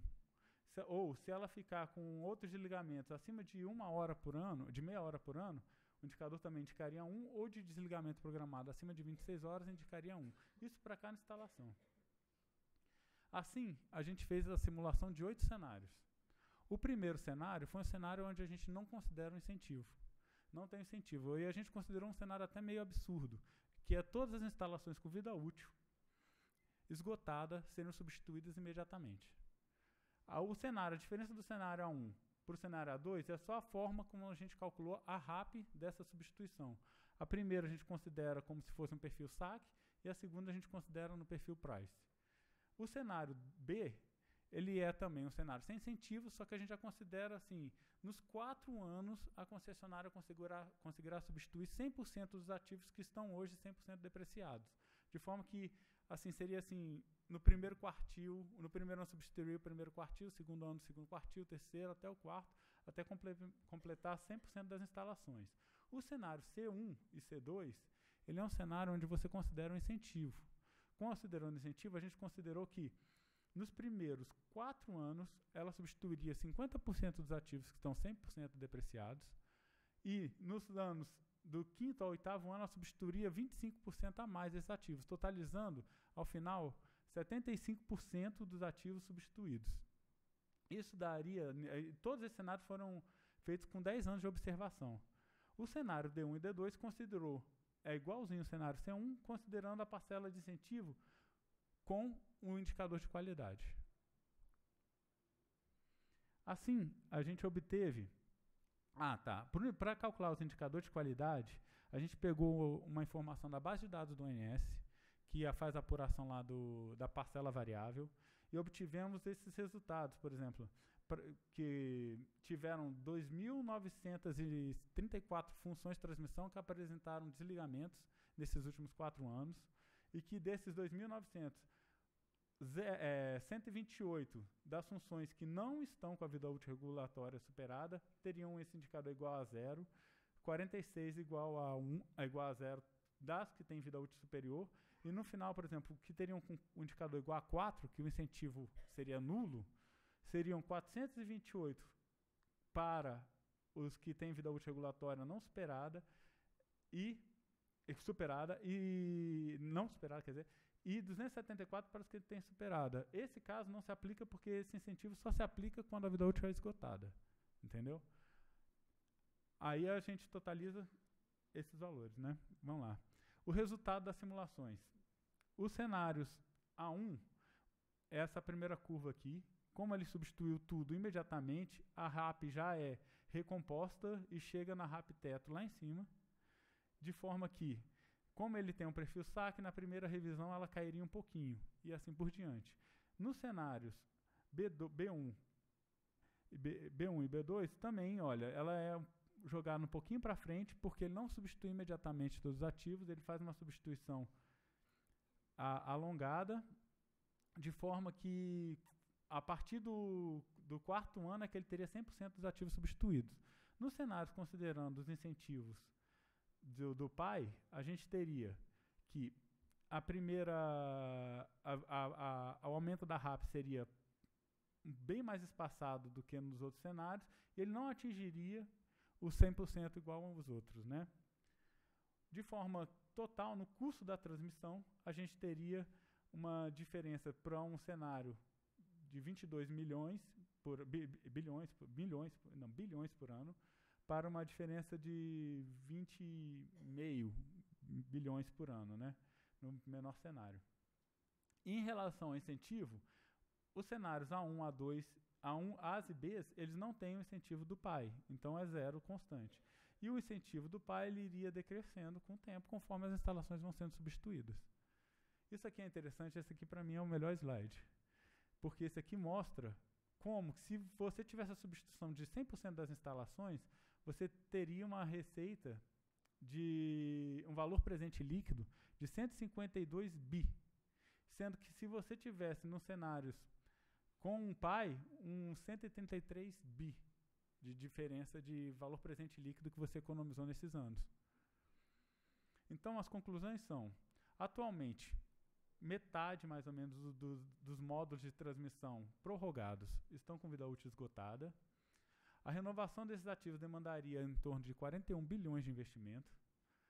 Parte significativa da remuneração e atratividade das concessões de transmissão está na parcela de amortização e de juros da RAP. A remuneração vigente só com a IM das, das concessionárias prorrogadas estimula a substituição prematura dos ativos. O valor do PAI estimularia a maximização da vida útil dos ativos de transmissão correspondente à expectativa, porque ele corresponde, quando ele corresponder exatamente à expectativa de prêmio da concessionária com o negócio. O valor, o valor máximo de PAI ele é estabelecido pela multiplicação do prêmio vezes o saldo devedor médio. De forma a evitar o sucateamento, você vincularia que o pai que ele ia receber no ano seguinte é relacionado a uma observação dos quatro anos de operação dessas instalações. Assim, é, apesar de todos esses resultados, a gente tem que a base de dados que a ANEL possui, ela ainda precisaria ser auditada para poder colocar todas as informações necessárias. Nem todos os módulos têm exatamente a data que eles entraram em operação comercial ou a vida útil deles estabelecidas. A gente pegou e fez em cima do que tinha. A base da, da ANEL e do ONS não conversam. É, foi realmente muito difícil fazer esse casamento da base do ONS e da ANEL de forma a gente poder considerar esse fator da qualidade para evitar o sucateamento das instalações. Aí isso aqui seria um fator realmente que eu acho limitante ao processo e precisaria dessas duas bases conversarem melhor. E, e no, por fim, o período. A, as concessionárias foram prorrogadas agora tem quatro anos. Ainda não, a gente não observou nos nossos estudos a tentativa ou então o incentivo de substituição de todos os ativos. Porque além da, de ter esse incentivo para a concessionária substituir, existem outros fatores que desestimulam a substituição. A própria capacidade da indústria em produzir tantos equipamentos é um desestímulo. A capacidade do ONS de poder permitir a substituição de tantos equipamentos também é uma, um desestímulo. E principalmente a própria capacidade da empresa de se endividar tanto e também ter conseguir implantar tantos empre empreendimentos de forma paralela. É isso aqui. Obrigado.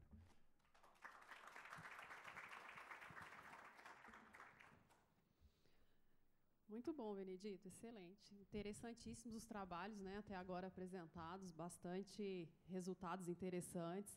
Mostra mais uma vez a questão dos problemas de dados, né? Todas as agências reguladoras comentaram isso, problema de, de dados, né? nesse questionário que a Elvia comentou que, que foi feito. Uma das maiores dificuldades que se tem de fazer uma análise de impacto regulatório com qualidade é, de fato, ter dados com qualidade. Né? E aí você mostrou bem aí no seu trabalho a dificuldade em relação a esses, esses dados.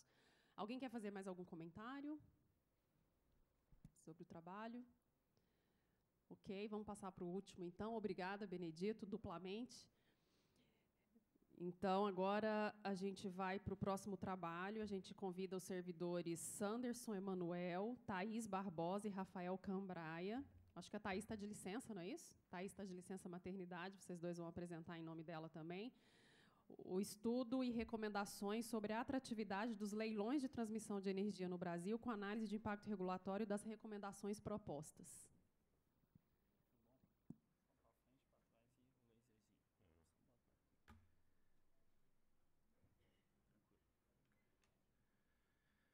Bom, pessoal? É, fiquei, ficamos aí com um horário meio ingrato, né? Assim, logo antes da hora do almoço, mas também estou envolvido lá em outro curso. E viemos para falar de leilão de transmissão, né?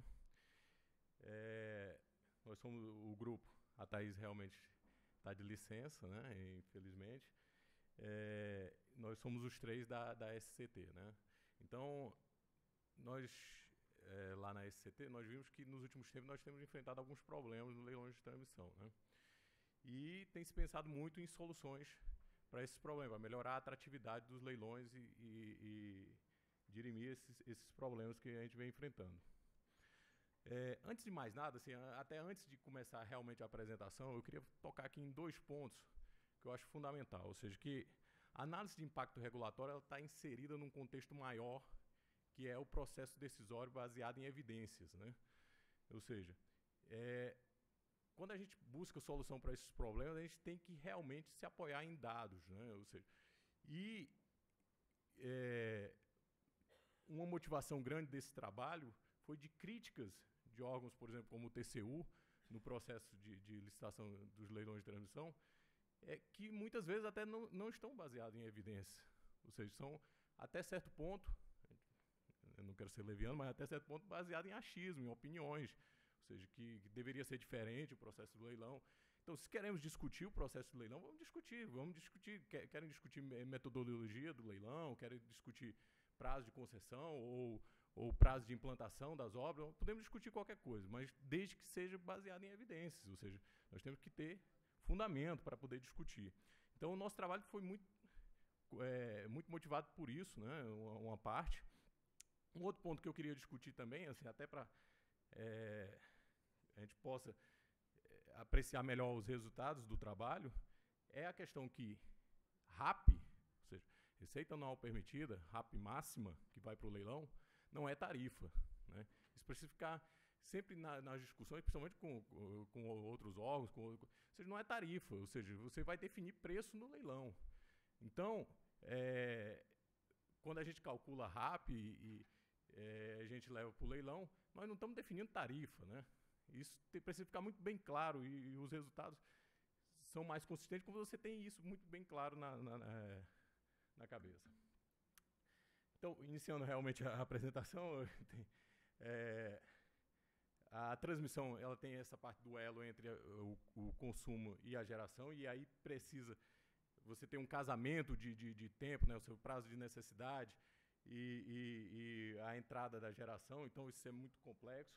Uh, o negócio exige um, um elevado é, nível de investimento.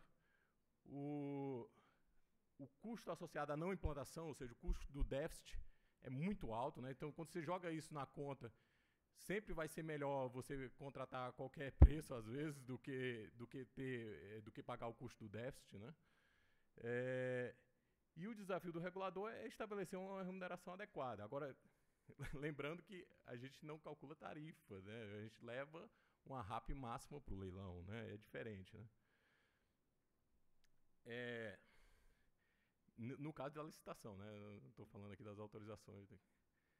É, os objetivos do trabalho, seja, em geral, era determinar que fatores realmente têm impacto, estão impactando realmente o sucesso da, das licitações. Isso é um, é um, é um objetivo, é, de certa forma, ambicioso, né, bem grande, mas a gente tinha objetivos também específicos. É, a questão das causas da queda de, de, de atratividade nos leilões, principalmente a partir de 2010, nós vamos ver. É, realizar uma análise de custo-benefício com alguns cenários para esses valores, esses fatores que realmente possuem influência sobre o leilão e baseado nisso uma análise de sensibilidade, mas pelos aqueles fatores que são gerenciáveis, ou seja, o que é que a gente tem realmente na ANEL que a gente pode fazer para mexer em, algum, em alguns parâmetros que possam melhorar a atratividade do leilão. Uh, ou seja, aqui né, se fosse para um outro público, né, talvez seja mais interessante, mas aí é só para contextualizar que a ANEL é responsável por estabelecer as regras, né, o, procedimento licitatório, tudo em conjunto com, com o Ministério, e é, sendo abastecido pela, pelos dados e, e as coisas que vêm do planejamento, ou seja, vem da EPE e tudo. É, no processo, um, um, é, você tem uma parte de agrupamento dessas obras para formar lotes, né, e isso está seja, está tá sobre as nossas mãos, né? É, de como a gente vai agrupar essas obras para formar os lotes do leilão. O cálculo, nós, nós realizamos o cálculo da receita anual, é, é a RAP máxima, né, que tem que ser entendida, é, só reforçando, como um, um, valor teto, né, ou seja, um valor de reserva. Né.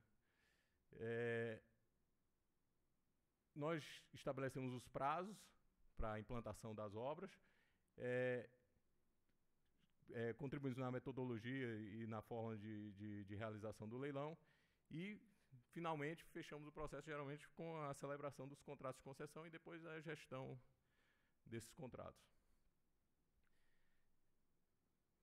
Onde está o, problema, né? Ou seja, o que, é que a gente identificou nos últimos tempos, né?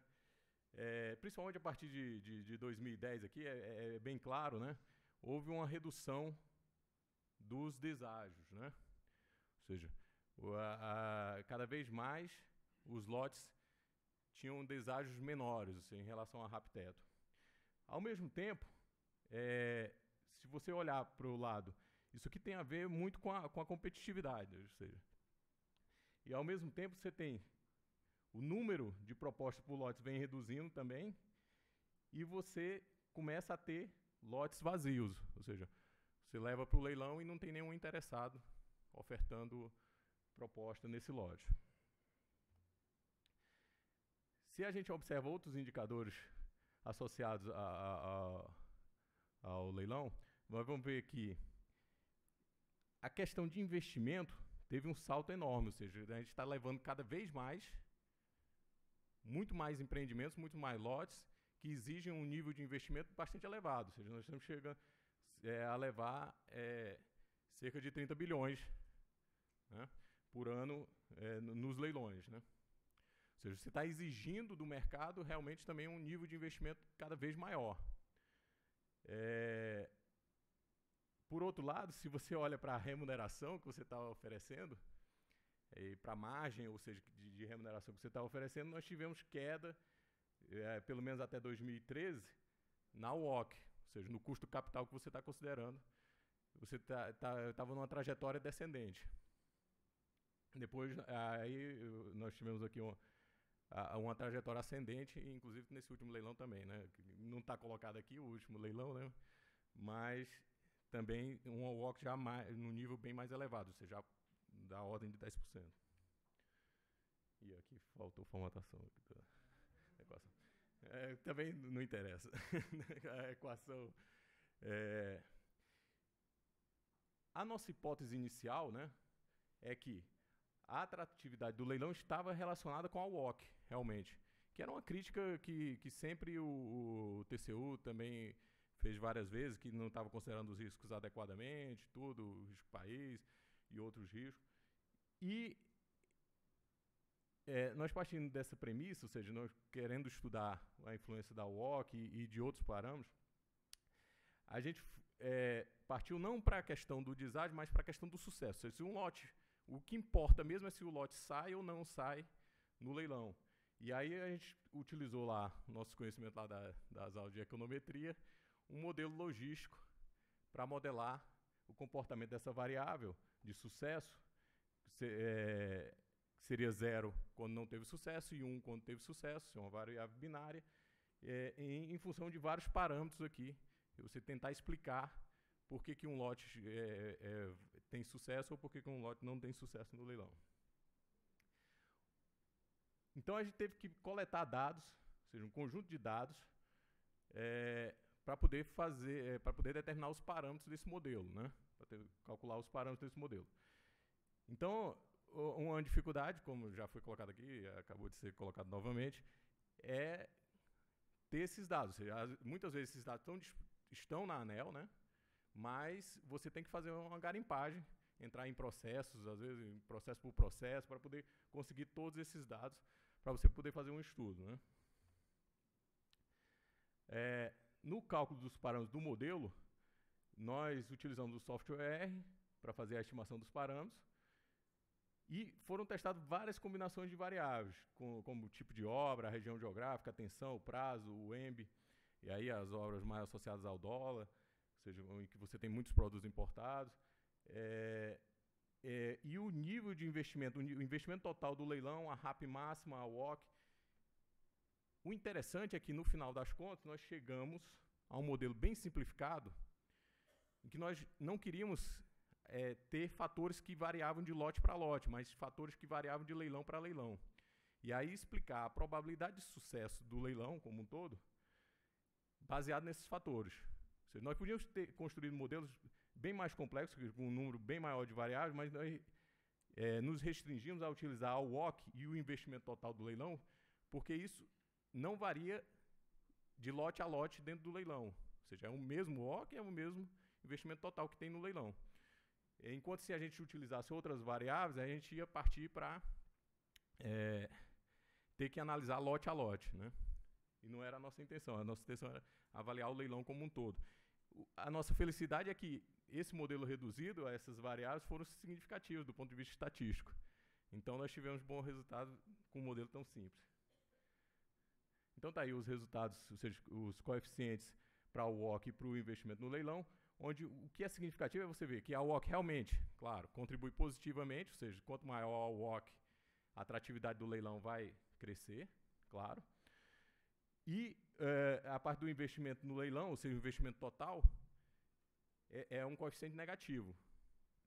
Ou seja, se você está levando, está exigindo uma capacidade de investimento muito alta, ou seja, talvez acima da capacidade de investimento que você tem é, no mercado. Né? Então, a interpretação do resultado é a probabilidade do sucesso do leilão e nós aplicamos, então, é, é, essa análise econométrica, para determinar a probabilidade de sucesso, com a, a, a ideia de, de fazer uma análise custo-benefício.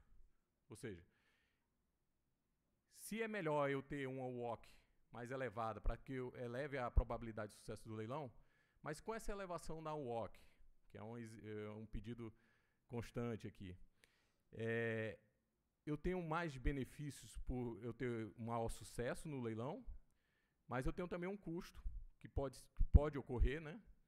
que é a elevação do, do, dos valores de receita.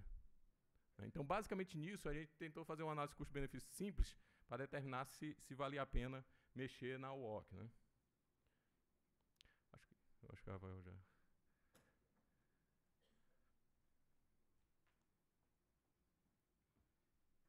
É, bom dia. Falando agora um pouquinho sobre a análise de impacto regulatório especificamente.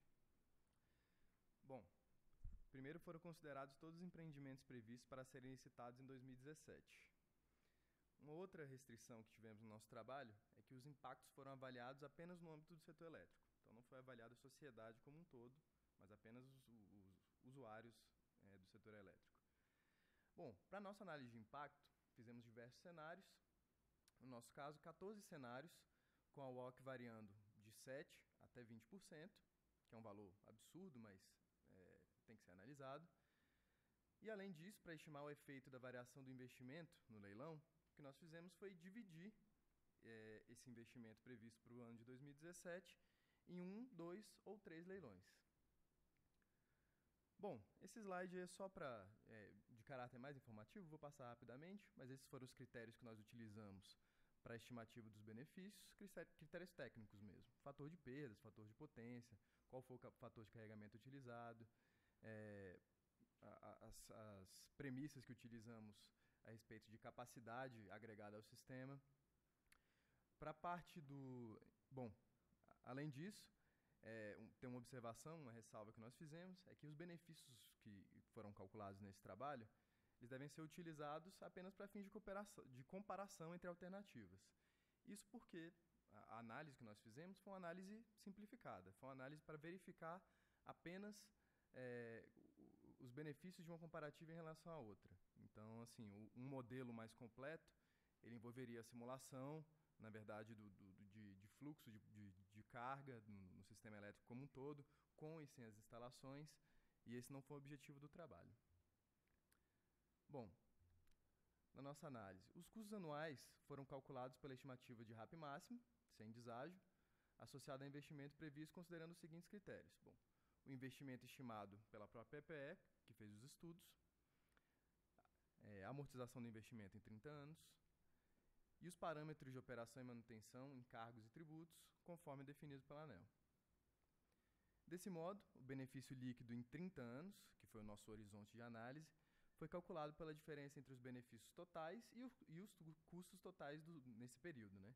utilizando como taxa de retorno a taxa social de desconto que é utilizada pela EPE em todos os seus estudos, tanto para geração quanto para transmissão.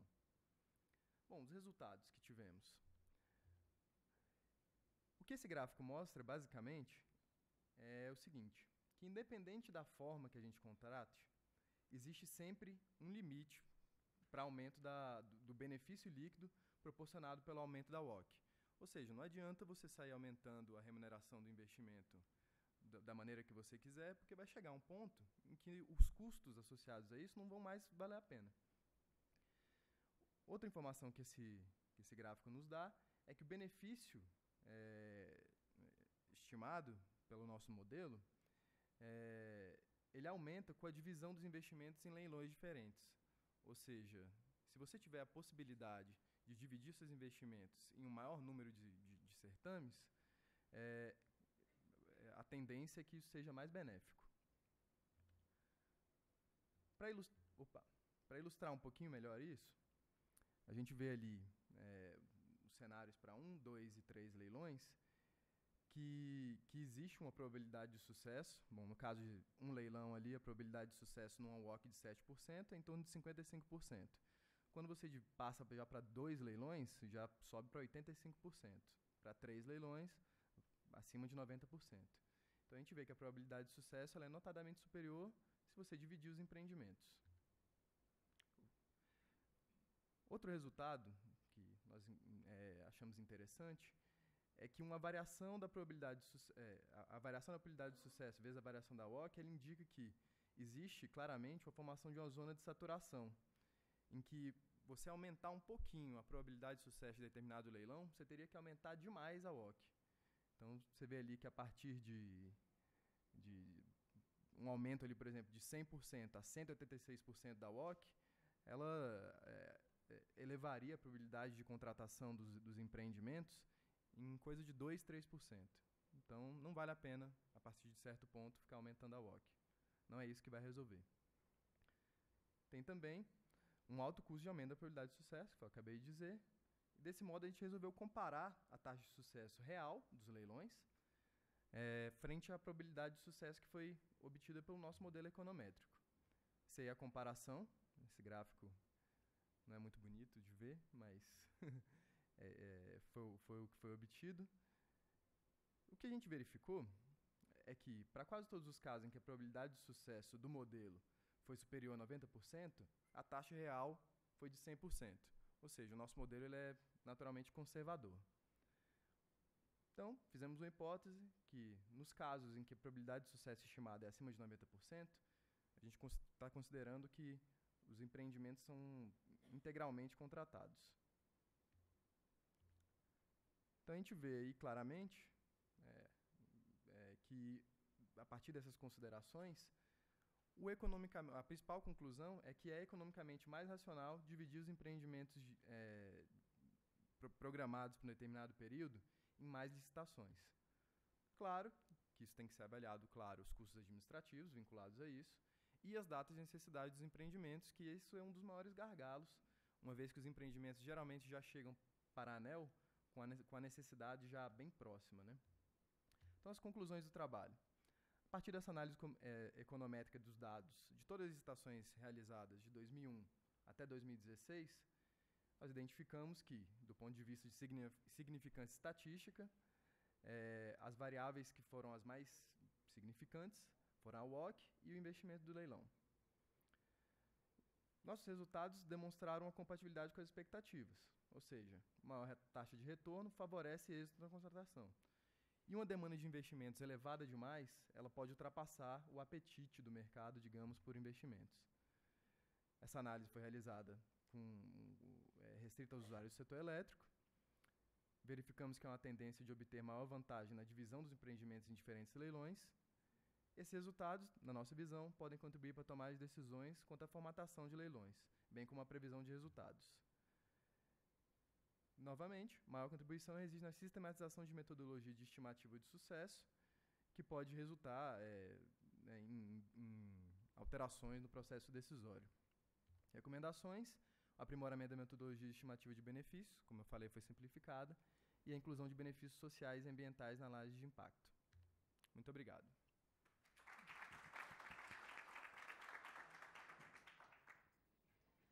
Parabéns, Sanderson e Rafael. É, transmita os parabéns a Thaís também pelo trabalho que vocês fizeram.